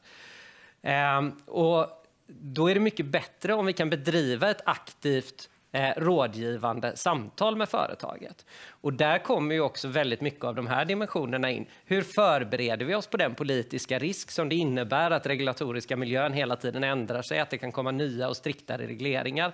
Där fyller ju ägare och styrelse och de styrmekanismer som man har runt eh, en sånt arbetssätt en viktig funktion. Eh, så jag tror ju att liksom, det vi ser är att den rådgivande funktionen som finansbranschen har, den kräver utbildning, kompetens igen. Och man är inte där än, men vi är på väg ditåt. Det blir bättre och bättre, den typen av rådgivningsklimat. Och då tror jag också att man kan hjälpa företagen att ha bättre förberedelse för den typen av politiska risker.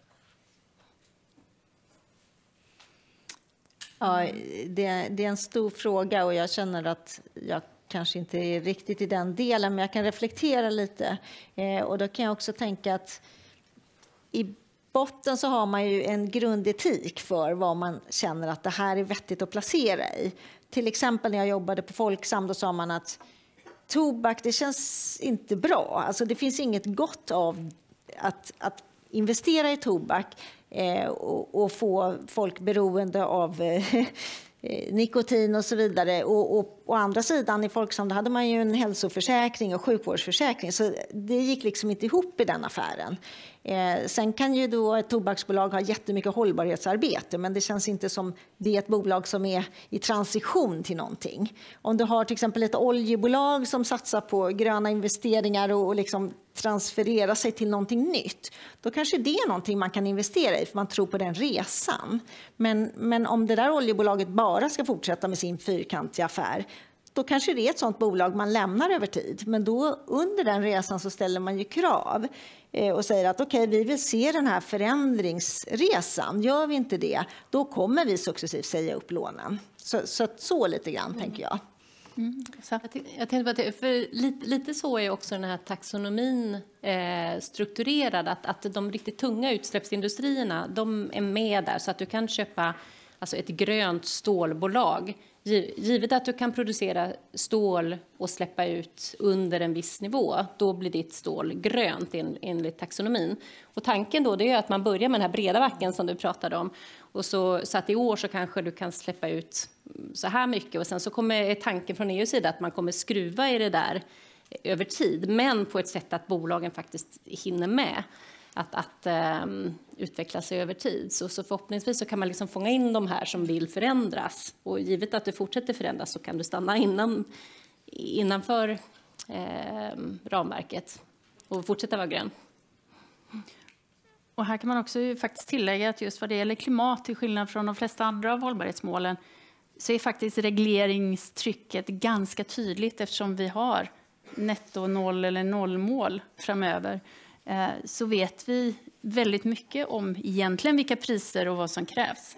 Till skillnad från kanske med biologisk mångfald och många andra hållbarhetsmål där det är mycket svårare på det sättet. Målsättningen med liksom vad vi behöver göra för klimatet är faktiskt extremt tydlig. Så det är ingen hemlighet att priserna kommer öka och hur riskpremierna kanske egentligen borde eh, se ut. En kommentar. Ja. ja.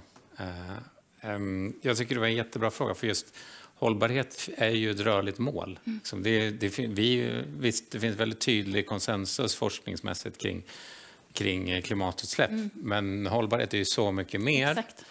Uh, så det är ju verkligen ett rörligt mål och det, det, kommer förändras över tiden och det som vi mm. ser kanske är bra för klimatet kommer vara dåligt för biologisk mångfald. Skogen har ju varit, är ju en sån mm. liksom, fråga som har kommit upp bara de senaste åren där det är så enormt tydligt, liksom, där de här olika clashar. Vi ska använda skogen till eh, Eh, bränsle, vi ska använda skogen till material, vi ska bygga huset av skogen och så ska den stå kvar också samtidigt. Eh, och det är för att det finns inget konsensus forskningsmässigt och då kan man ju få en förändring i hur man ser på det där. Då vi, vi försöker använda, dela hållbarhet i begreppen positiv påverkan och ansvar för att hållbarhet är så, så flummigt och, och, någonstans. Då.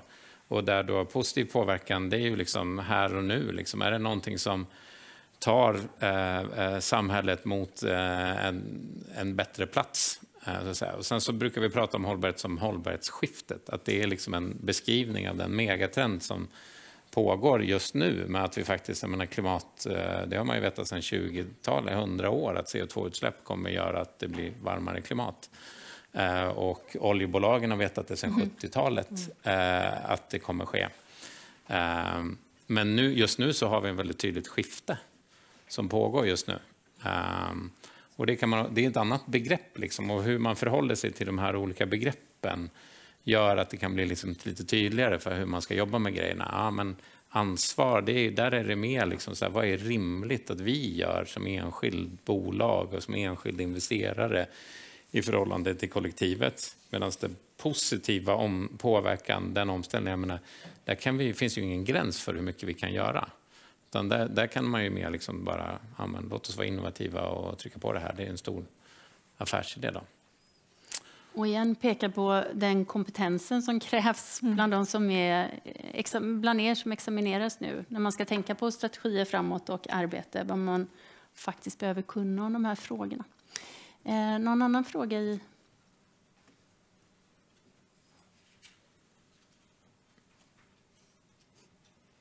Ta chansen nu när ni har såna experter här.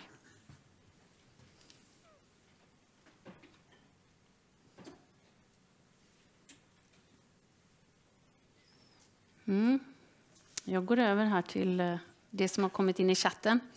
Eh, ska vi se. Varför är det inte ett större medialt fokus på frågan om finanssektorns roll i hållbar utveckling? Är det, håller ni med om den frågan? Och i så fall, vad tänker ni om svaret? Tycker ni att det är ett lågt medialt fokus på finanssektorns roll i hållbar utveckling? Jag läser väl fel tidningar, tror jag. Jaha. Vad läser ni för tidningar? Eh, skrivs det mycket om det där? Det tycker jag, men... men um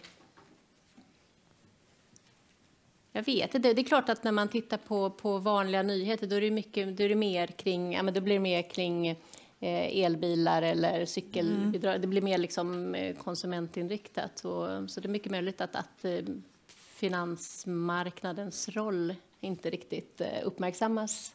Jag, jag, tror det är abstrakt. Det är för abstrakt. Liksom. Mm. Du kan inte ha det på Aktuellt, det blir liksom alldeles för abstrakt. Samma... Men vi har ju lärt oss ganska mycket om energi och kilowattimmar och som vi aldrig trodde vi... Flaskhalsar och är det för att inte liksom, man förstår hur... Men det är ändå ganska konkret, eh, en kilowattimme. Sen så är det ju liksom, visst det är abstrakt det är så, men det är i alla fall en kilowattimme. Liksom. Ja, klart, finans en krona, har ju pengar. En krona, men, ja. men, eh, men just, eh, och där tror jag det är ganska tydligt i finansbranschen att en krona är en krona och hur mycket börsen har gått upp och ner varje dag, det följs ju i var och varandra media. Men liksom hållbarhet i koppling till det, hur ska man mäta det? Hur ska man liksom... Ja, och, jag skulle tro att det är väldigt låg... Eh, jag tror nog att om du skulle fråga, när jag tänker om du skulle fråga svensken i gemen och fråga om man tycker att finansbranschen jobbar mycket för hållbarhet så skulle man nog svara nej på den frågan. Så jag tror mm. att, jag tror att det finns en låg medvetenhet kring allt det jobb som ändå görs. Mm. Ja. Viktor?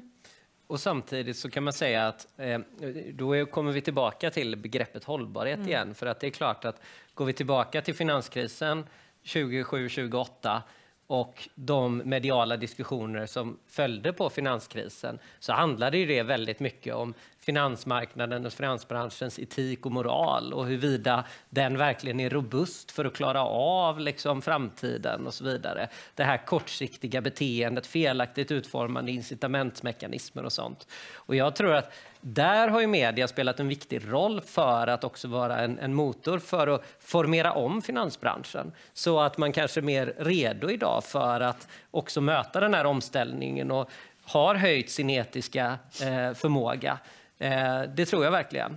Eh, så att i en bred bemärkelse så tror jag att det finns väldigt mycket som en del av den mediala debatten. När det gäller den här liksom mer specifika frågan om huruvida finansbranschen kanaliserar eh, pengar till mer hållbara aktiviteter och så, så jag tror att det är svårt för media att förmedla den mer vad ska man säga, positiva bilden om hur finansbranschen kan fungera som en motor eller en katalysator i den här omställningsprocessen och så. Det är inte det som säljer tidningar, det är inte det som säljer eh, mediala eh, liksom, klick, tyvärr. Så att, eh, jag tror att det är en del av problematiken också. Och det är klart att går vi till våran eh, public media så har ju eh, bland annat eh, P1 eh, haft rätt mycket eh, reportage och serier kring just finansmarknadens roll i den här omställningen. Men då tror jag liksom inte att den här mer då liksom ekonomiskt drivna mediala eh, världen, den, den har kanske inte incitament att faktiskt prata om de sakerna. Nej, det är väl lite så som vi har det här samtalet nu, att det är många faktorer och det är en komplex fråga.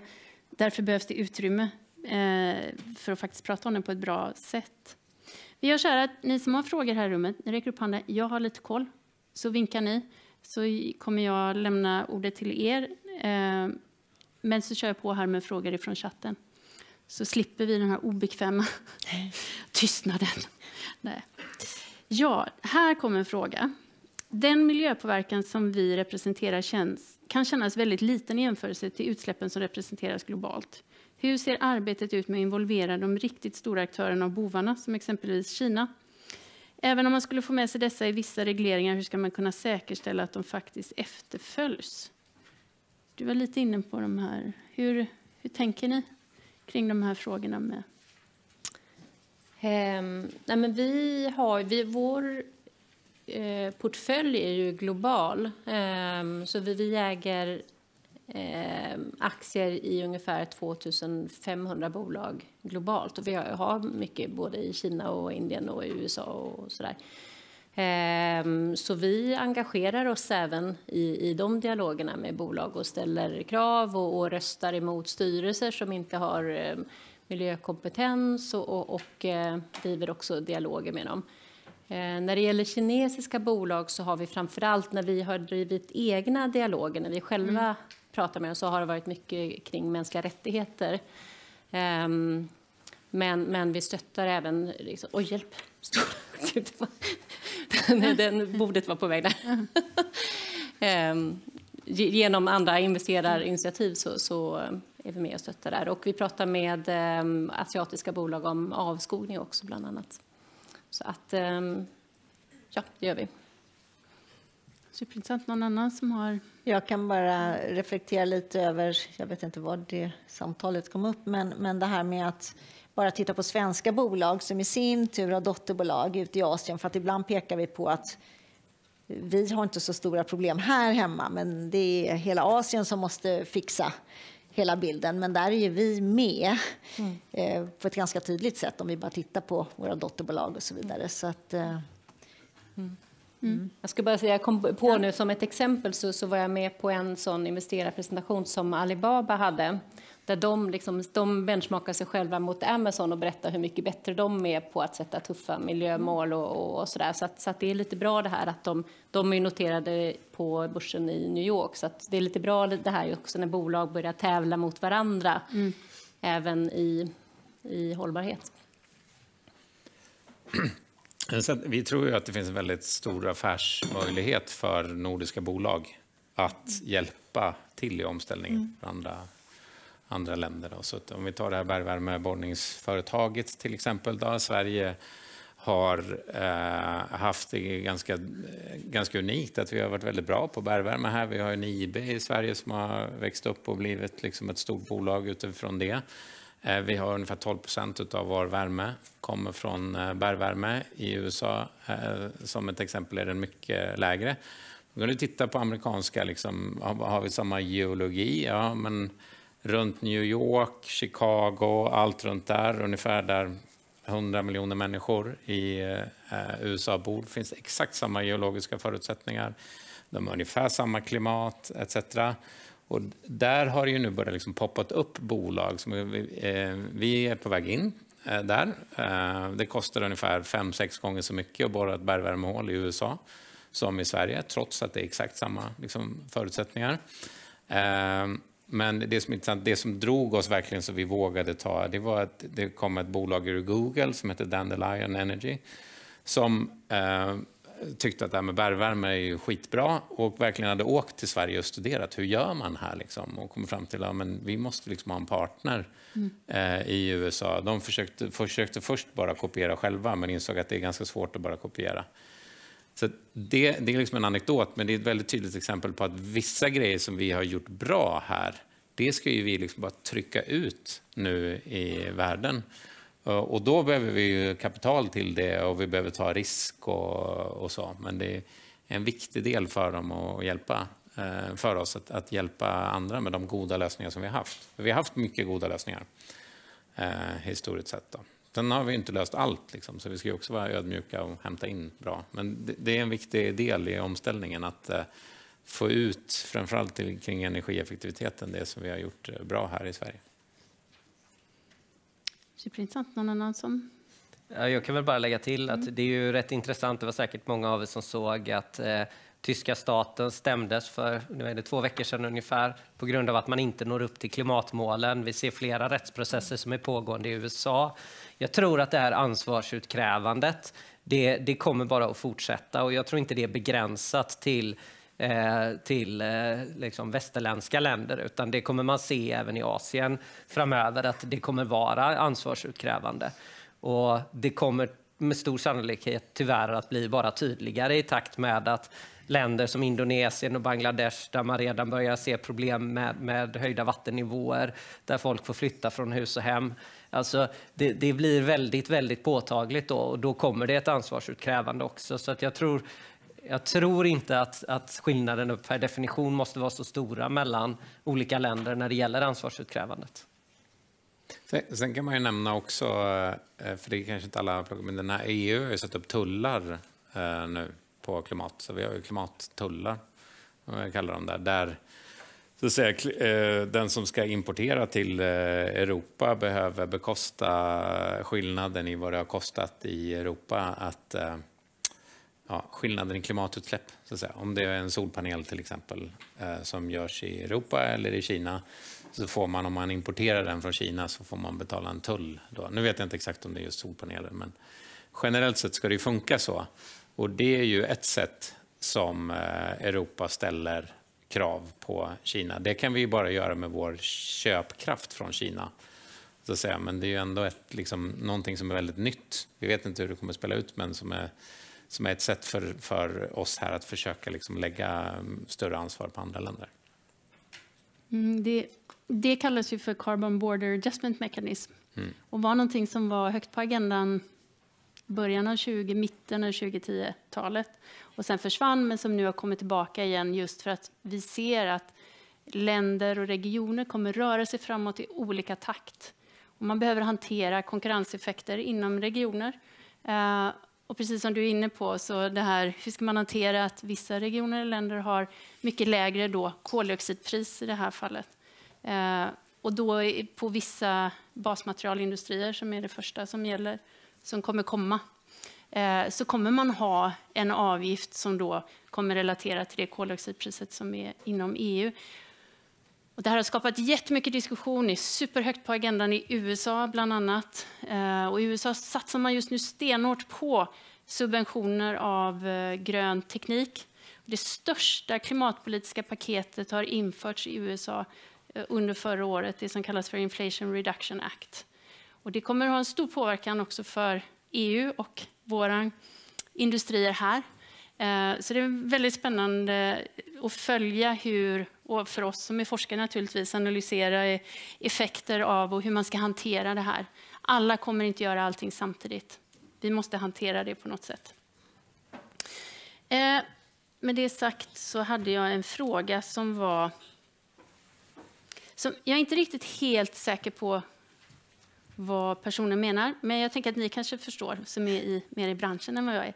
Hur ser ni på att skapa verktyg som ökar allmänhetens aktiva deltagande i finansieringen av hållbarhetsomställningar, bland annat för att få marknadssignaler och minska politiska risker? Är det mer som crowdfunding den här kanske? Nej, jag vet inte. Du ser ut, du fattar. Ja, men jag tycker det är en jättespännande frågeställning och det, det finns ju Eh, alltså crowdfunding är väl ett bra, eh, liksom, ganska välkänt exempel där vi går ihop och, och mm eh, gemensamt finansierar olika typer av aktiviteter. Det experimenteras rätt mycket med såna här eh, kryptobaserade, till exempel eh, DAOs som de heter, då, Decentralized Autonomous Organizations, mm. där man skapar ett gemensamt bolag där alla får del, del av bolaget och får del av värdet som genereras i bolaget som är med Eh, en form av decentraliserad organisationsform. En av de häftigaste idéerna som jag har hört, som jag tycker vore jättespännande om, det, eh, om man exekverar på den, det, var att, eh, det är att man skulle jobba med bankernas inlåningsportföljer. Och att jag som inlåningskund, alltså när man har spar, ett vanligt sparkonto, att man faktiskt kan ha en viss beslutande rätt över hur de pengarna investeras. In, kanske inte alla pengar, kanske en del av dem läggs på ett separat konto, men att banken där med hjälp av inlåningsportföljen faktiskt styr eh, en del av, av inlåningen till specifika aktiviteter. Det är ju indirekt det man gör genom grön utlåning. Eh, för det är våra inlåningspengar som används för den gröna utlåningen. Men man skulle kunna ha ett ännu mer aktivt sånt som var lite mer lokalt betingat. Eh, som dessutom då, i alla fall tidigare näringslivsminister var positiv till att ge samma typ av skatterabatt som man får på investeringar. Vilket ju gör det ännu mer attraktivt och, spännande. Så att jag tror att det finns många sådana potentiella innovationer som, man skulle kunna, eh, som skulle kunna växa fram. Sen kan vi också se då, eh, om vi pratar om just eh, naturen och biologisk mångfald att det händer otroligt mycket på den marknaden just nu med olika typer av företag som, som etableras för att försöka skapa då finansiella mekanismer för att skydda naturen. Och en av de som kanske är mest spännande just nu det, det är ett företag som heter eh, Intrinsic Exchange Group och som då är eh, delägs av eh, New York-börsen där man egentligen vill skapa en bolagsform som äger natur och där eh, eh man egentligen ska genomföra en, en eh, börsintroduktion av de här bolagen. Och sen så ska vinsterna som genereras i bolagen, det är ökningen av värdet av den biologiska mångfalden på marken som förvaltas och kolbindningen och där man då potentiellt skulle kunna sälja kolkrediter till exempel på bakändan av detta. Så det händer jättemycket kring eh, liksom olika typer av eh, finansiell innovation här för att försöka skapa den här typen av mekanismer som, Vilken skyddar. superbra fråga. För nu lärde jag mig jättemycket. Det är säkert flera som... Lärde ni er något eller är ni på fötterna på det här? Mm, nej, men jag lyssnar. det känns ju lite bekant så. Men, men jag kan också tänka att det är ju andra sidan här. Eftersom jag är mera på investerarsidan. Om man tänker på egentligen på lånesidan, där är det ju egentligen större påverkan. Eh, för där är det ju verkligen att dra undan mattan om, om man inte förlänger lån och så vidare. Så att kraven kan ju se lite annorlunda ut. Så. Mm. Ja, superspännande. Thomas och Åsa, hade ni? Nej, men jag, jag tycker att det... Ja, det borde komma över tid möjligheten att som privatperson vara väldigt mycket mer tydlig vad man ska finansiera. Och jag tycker att den, den resan har ju liksom börjat. Om man går in på Avanza eller liknande sajter idag så kan man ju faktiskt få lite bättre koll på liksom olika teman och sådär. Eh, och jag tror att taxonomin kan vara en början på att du faktiskt ska kunna sitta som med, tillsammans med din rådgivare, AI-rådgivare i framtiden och liksom ha en diskussion kring vad är, du, vad är viktigt för dig när du investerar förutom avkastning. För jag tror att det finns väldigt många människor som faktiskt bryr sig om mer än avkastning men där det idag är extremt svårt att göra det. Så därför gör man ingenting åt det.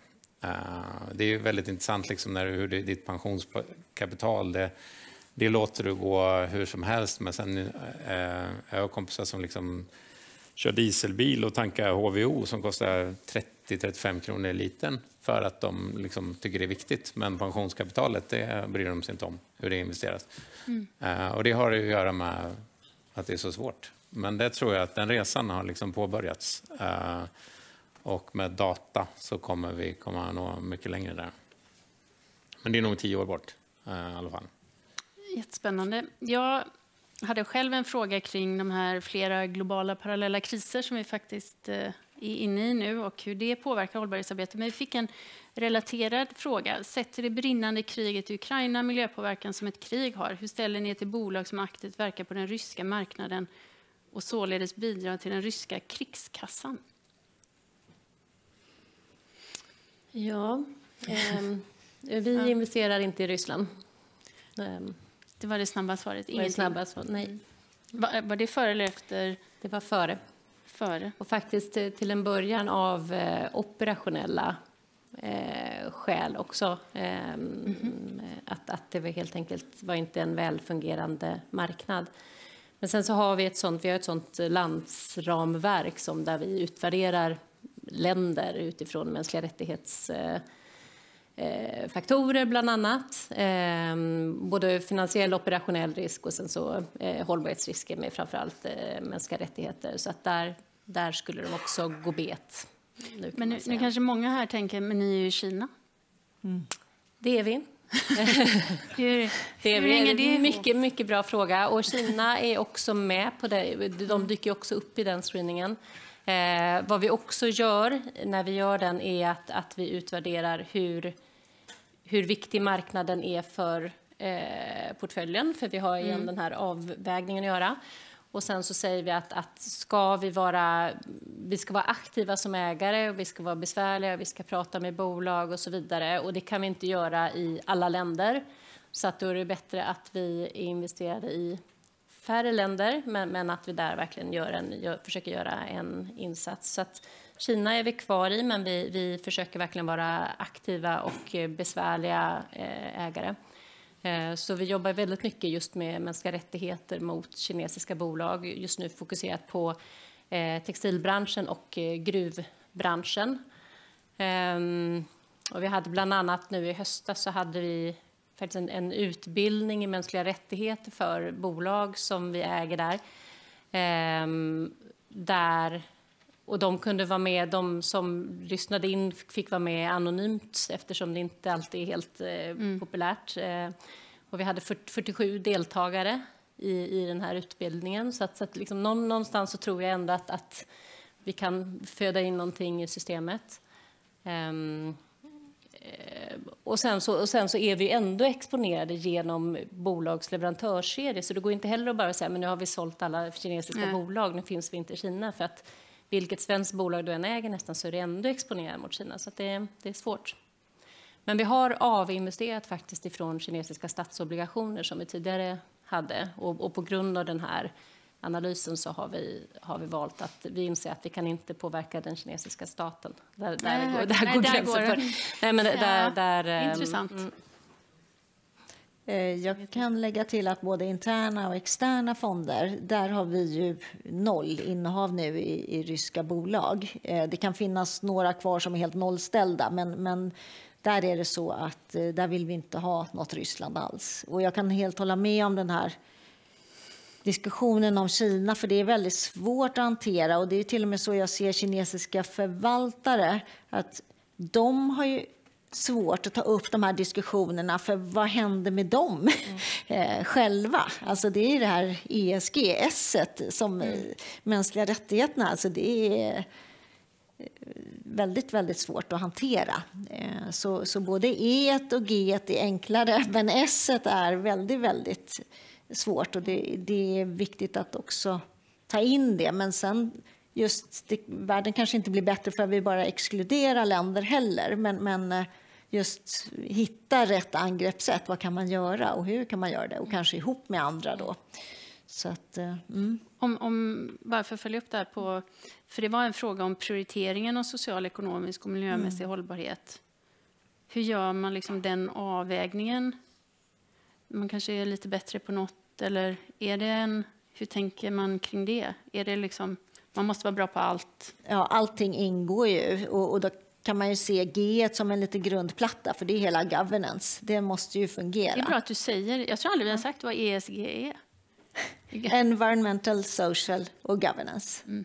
Eh, och E är ju hyggligt enkelt med klimatet och eh, eh, alla parametrar att räkna på. S är ju mer fluffigt då med, med de här mänskliga rättigheterna och eh, det är där det kommer in. Du kan ju ha ett bolag som ser hållbart ut på ytan men så är det någon stackars eh, ja, fattiga arbetare som jobbar i en eh, taskig miljö så, bakom. Så att, eh, och väga ihop alla de här delarna måste man ju. Thomas eller Viktor, hade ni? Eh, vi, om vi börjar från Ryssland så investerar inte vi i Ryssland. Vi, investerar, vi har valt att investera bara i Norden på strategiskt, i alla fall på kort sikt. Eh, så vi behövde inte ens ha det uppe som diskussion, men jag är ganska övertygad om att det, vi inte hade gjort det.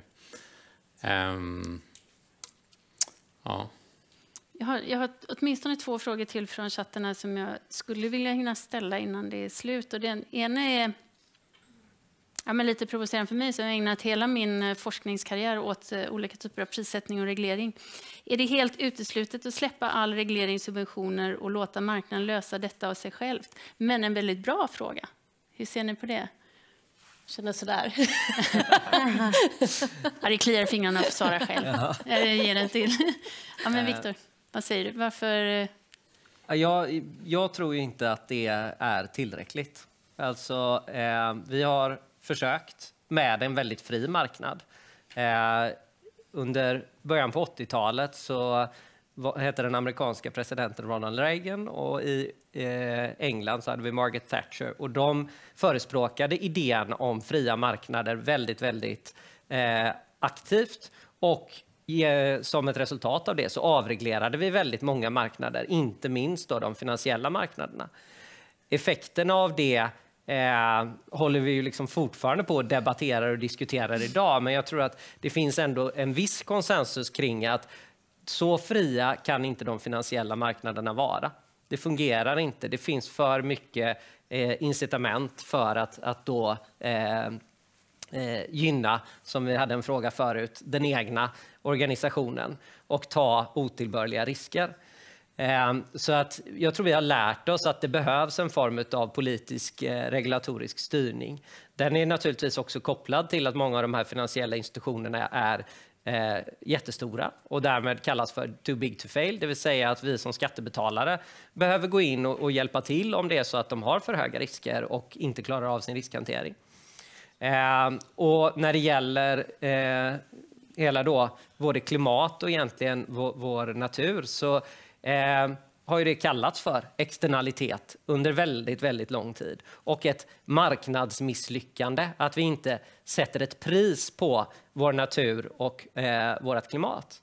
Och det marknadsmisslyckandet har inte marknaden lyckats att ta hand om, åtminstone inte på 50-60 år, vilket betyder att nu är det nog bara så att vi har lärt oss av eh, forskningen att vi behöver mekanismer från regulatorisk politisk nivå som, som ser till att snabba på den här och hantera, adressera det här marknadsmisslyckandet. Sen kan man väl förhoppningsvis montera ner en del av dem på sikt när vi börjar få in en annan typ av prissättning. Tyvärr är väl det så att priset där först kommer när vi börjar se de här riktiga klimatproblemen. Eh, och, och då är det väl risken att det är lite för sent. Men jag håller med. Alltså, det går inte utan regleringar, det här överhuvudtaget. Så, Milton Friedman sa 1970 the business of business is business. Uh, och med det så menar han ju typ att man inte ska tänka på ESG om man är business. Men det betyder ju också att det enda som uh, ett bolag ska behöva tänka på är ju att vara ett bolag. Och så får uh, staten ta hand om att marknaderna korrelerar med vad vi vill att vårt samhälle ska vara. Någonting då. Så det, det är väl egentligen att använda motståndarens argument, men, eh, om man ska säga så. Då. Men om business ska kunna vara business, vilket jag tror är liksom, det blir alldeles för komplext annars, då måste man sätta ett eh, ramverk. Precis som det blir bättre fotboll när mina eh, grabbar spelar fotboll i lagen, när de själva försöker komma överens om reglerna. Eh, då blir det slagsmål. Eh, det blir det väldigt sällan. När vi, det händer i och för sig när vi har regler också, men då blir man utvisad. Mm. Ja. Så, att, så enkelt är det, tror jag. Mm. Då har vi en fråga här om kompetensbristen som ni har pratat om. Vad är det för specifik kompetens som saknas? Ser ni några tecken på det avsaknad av engagemang hos personer för att skaffa sig kompetens eller avsaknad av möjlighet att göra det som är den främsta faktorn? Vad finns det för sätt att skapa sig kompetensen som behövs? Vad skulle vi behöva mer av? Vad behöver ni mer av när ni tittar på de som ni vill anställa? Eller när ni sitter i projekt. Den här kompetensen saknar vi nu. Alltså, jag tycker, om jag börjar, jag tycker att, att ni som sitter här är väldigt intressanta. För jag tycker att om man har just den här kombinationen mellan ett affärs eller juridik-tänk eh, och hållbarhet. Det är då man kan komma liksom med, med lösningar och, och, idéer som faktiskt håller även i en business som, som whose business is business, så att säga. Och, och, och man kan, och man kan eh, driva det och man kan jobba med det i bolag eller hos, hos eh, finansinstitutioner och så vidare på, på ett sätt som faktiskt funkar. Jag tror att Eh, den tidigare generationen eh, kanske mer var en NGO-generation som bara ville göra världen bättre och som, och som liksom tog en, en utan, ett utanförperspektiv i rollen att, att vi ska liksom kritisera alla de som som gör fel och, och pekar finger och, och, så, eh, snarare än att, att vara en del av lösningen. Så, så att jag, jag, jag, tycker att, att um, det som är spännande är just om man kan kombinera ett intresse för affärer och, och hållbarhet, tjäna pengar och eh, jobba med hållbarhet samtidigt. Jag, jag, kan verkligen koppla på det och det är lite så som jag själv ser mig själv. Alltså jag är ingen djup specialist på ESG, men jag jobbar med det varje dag. Jag är med engagerad mig och påverkar och så. Och det är på det sättet man får in det i vardagen. Sen har vi ett helt batteri med experter och man vill jobba nördigt rakt ner i ESG på djupet. Då har vi de experterna att gå till. Eh, vi har hela compliance, vi har riskfunktioner som djupdyker och är så specialiserade så de eh, ser bara risker. och då är det ganska sunt att komma i, i de vanliga arbetsrollerna och integrera hållbarheten för då kan du bemöta de här experterna. Du kan ta kompetens från dem, bygga på, men du kan jobba och integrera hållbarheten i ditt jobb och då ger det ett mervärde för dig själv också. Så känner jag. Thomas? Ja, men jag är enig. Just det här integrerade, det har saknats. Att man liksom, jag tror ingen... Eh, jag vet inte, jag börjar bli ganska gammal nu, eh, visserligen, då, men de flesta eh, på beslutsfattande roller, de har, ingen av dem har läst ESG eller CSR eller någonting sånt i skolan. Jag läste aldrig det. det gick någon miljökurs på Chalmers som jag aldrig har applicerat till någonting. Eh, liksom, det var den utbildningen vi fick. Och nu att kunna liksom få med sig det här från skolan samtidigt som man lär sig alla de andra komponenterna. Det tror jag är superviktigt i att kunna agera i alla de här besluten som sker där ute i vardagen. Det är de liksom, besluten som sker i vardagen, det är det som gör att vi tar oss framåt. Och då måste man liksom kunna någonting annat också än, än bara ESG, man, men man måste ändå ha en förståelse för frågan. Jag tänker att det jag kan fylla på med här är att jag tycker det finns mycket paralleller när det gäller kompetensfrågan till hur vi har hanterat IT och digitalisering. Där liksom nidbilden hos någon i vår ålder av en, av en IT-person fortfarande är någon som sitter djupt försjunken i en källare med en fräck t-shirt på sig och motar jäveln i dörren. Va? Och sen så har vi successivt sett en förändring där idag så sitter CIO eller CDO eller CTO, alltså Chief Technical Officer eller Chief Digital Officer eller Chief Intelligence Officer i ledningsgruppen och är med och beslutar. Och vi ser ju samma process när det gäller hållbarhetsfrågan, att hållbarhetschefen flyttar in i ledningsgruppen. Det är en strategisk frågeställning idag och det finns i alla delar i hela organisationen. Det handlar om att i de större företagen, inte minst att liksom det är inte så att man jobbar specifikt i ett CSR-rör med CSR-frågorna, utan hållbarhetsfrågan finns där i alla delar. Och om vi ska kunna rapportera enligt taxonomin så måste den göra det. Och då behövs den här typen av kompetens hos egentligen alla delar av samhället. Så att att ha en, en liksom rot och en grund i, i eh, förståelse för vad betyder egentligen de här förändringarna för affären, för vår affärsmodell, för vårt sätt att prissätta produkter, för hur vi ska bygga in produktdesignen på ett annat sätt så att våra produkter faktiskt kanske kan bli mer cirkulära och gå att återvinna eller eh, återproducera. Alltså, det är alla den typen av mekanismer som behöver eh, liksom förstärkning och där tror jag ni är jätteväl positionerade, hoppas jag. Superbra.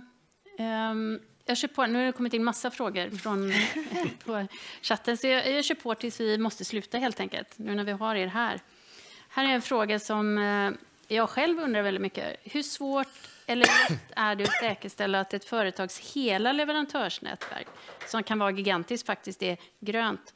Hur långt kan man dra ett företags kopplingar? Var går gränsen för er i dagsläget när ni kollar nya investeringar? Eller, ja, vad, vill du börja, Thomas? Ja, ja. Um, känns som det här måste ni ha pratat om. Ja, men vi har ju en del, eh, vi har inte så mycket producerande bolag. Uh, men ni använder många Det finns ett, uh, ett svar på det vad vi gör idag och ett annat svar på vad vi gör imorgon. För att regleringen har ju varit väldigt tydlig med att vi måste ha koll uh, bakåt, framåt här. Vi, vilket jag tror är väldigt positivt. Ehm, det är ju skitsvårt såklart. Mm.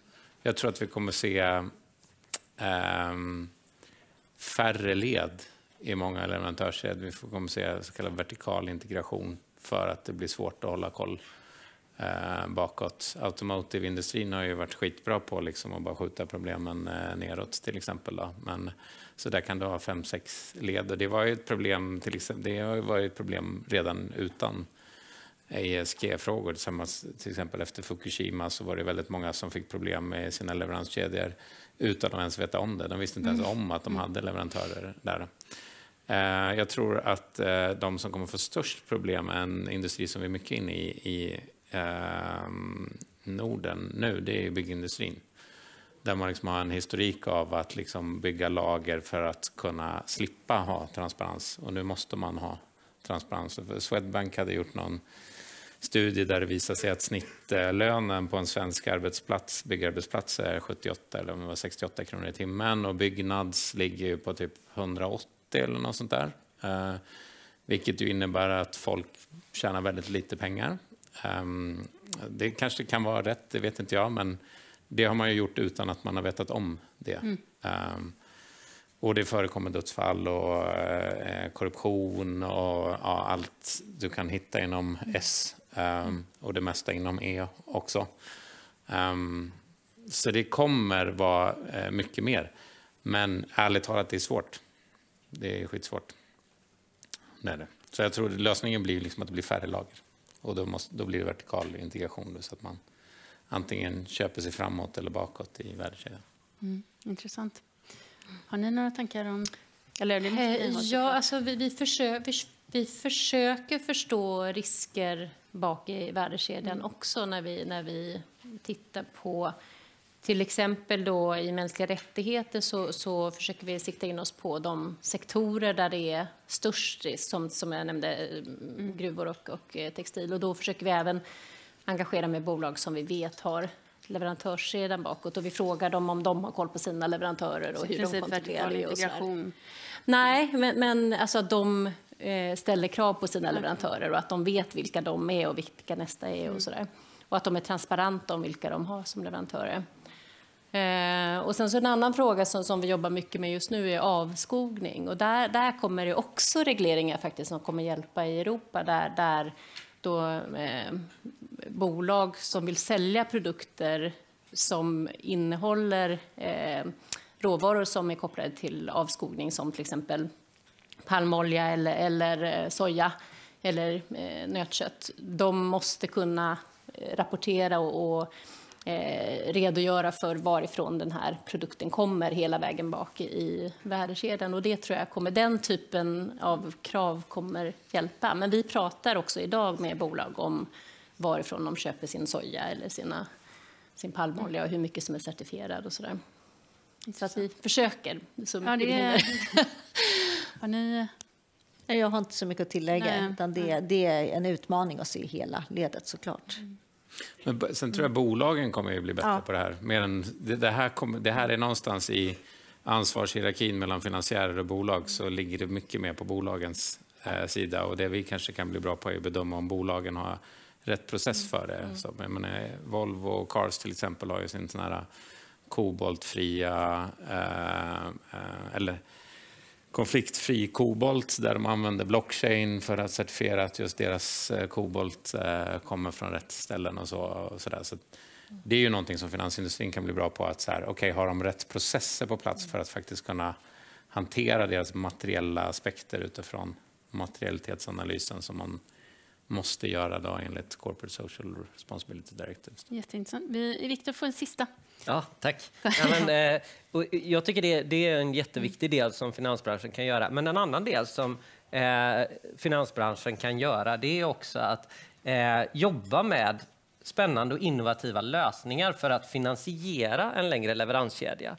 Eh, det finns väldigt mycket som talar för att vi behöver jobba i leveranskedjorna eh, mer aktivt. Och det handlar om cirkularitet, men det handlar också om, om eh, att vi ska kunna få den här spårbarheten. Och när vi får den spårbarheten, ja, då får vi också en spårbarhet som kan generera ett eh, data för att erbjuda nya former av finansiering.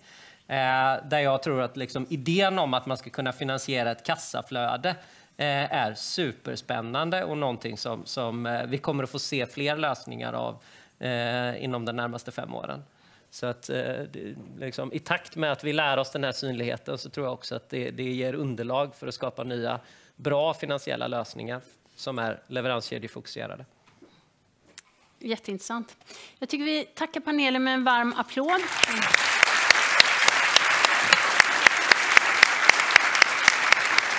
Vi har, vi har en eh, någon liten gåva. Och tack för alla frågor och att ni deltog. Glöm inte att göra det som ni ska göra. Ska jag säga någonting mer? Tack så jättemycket.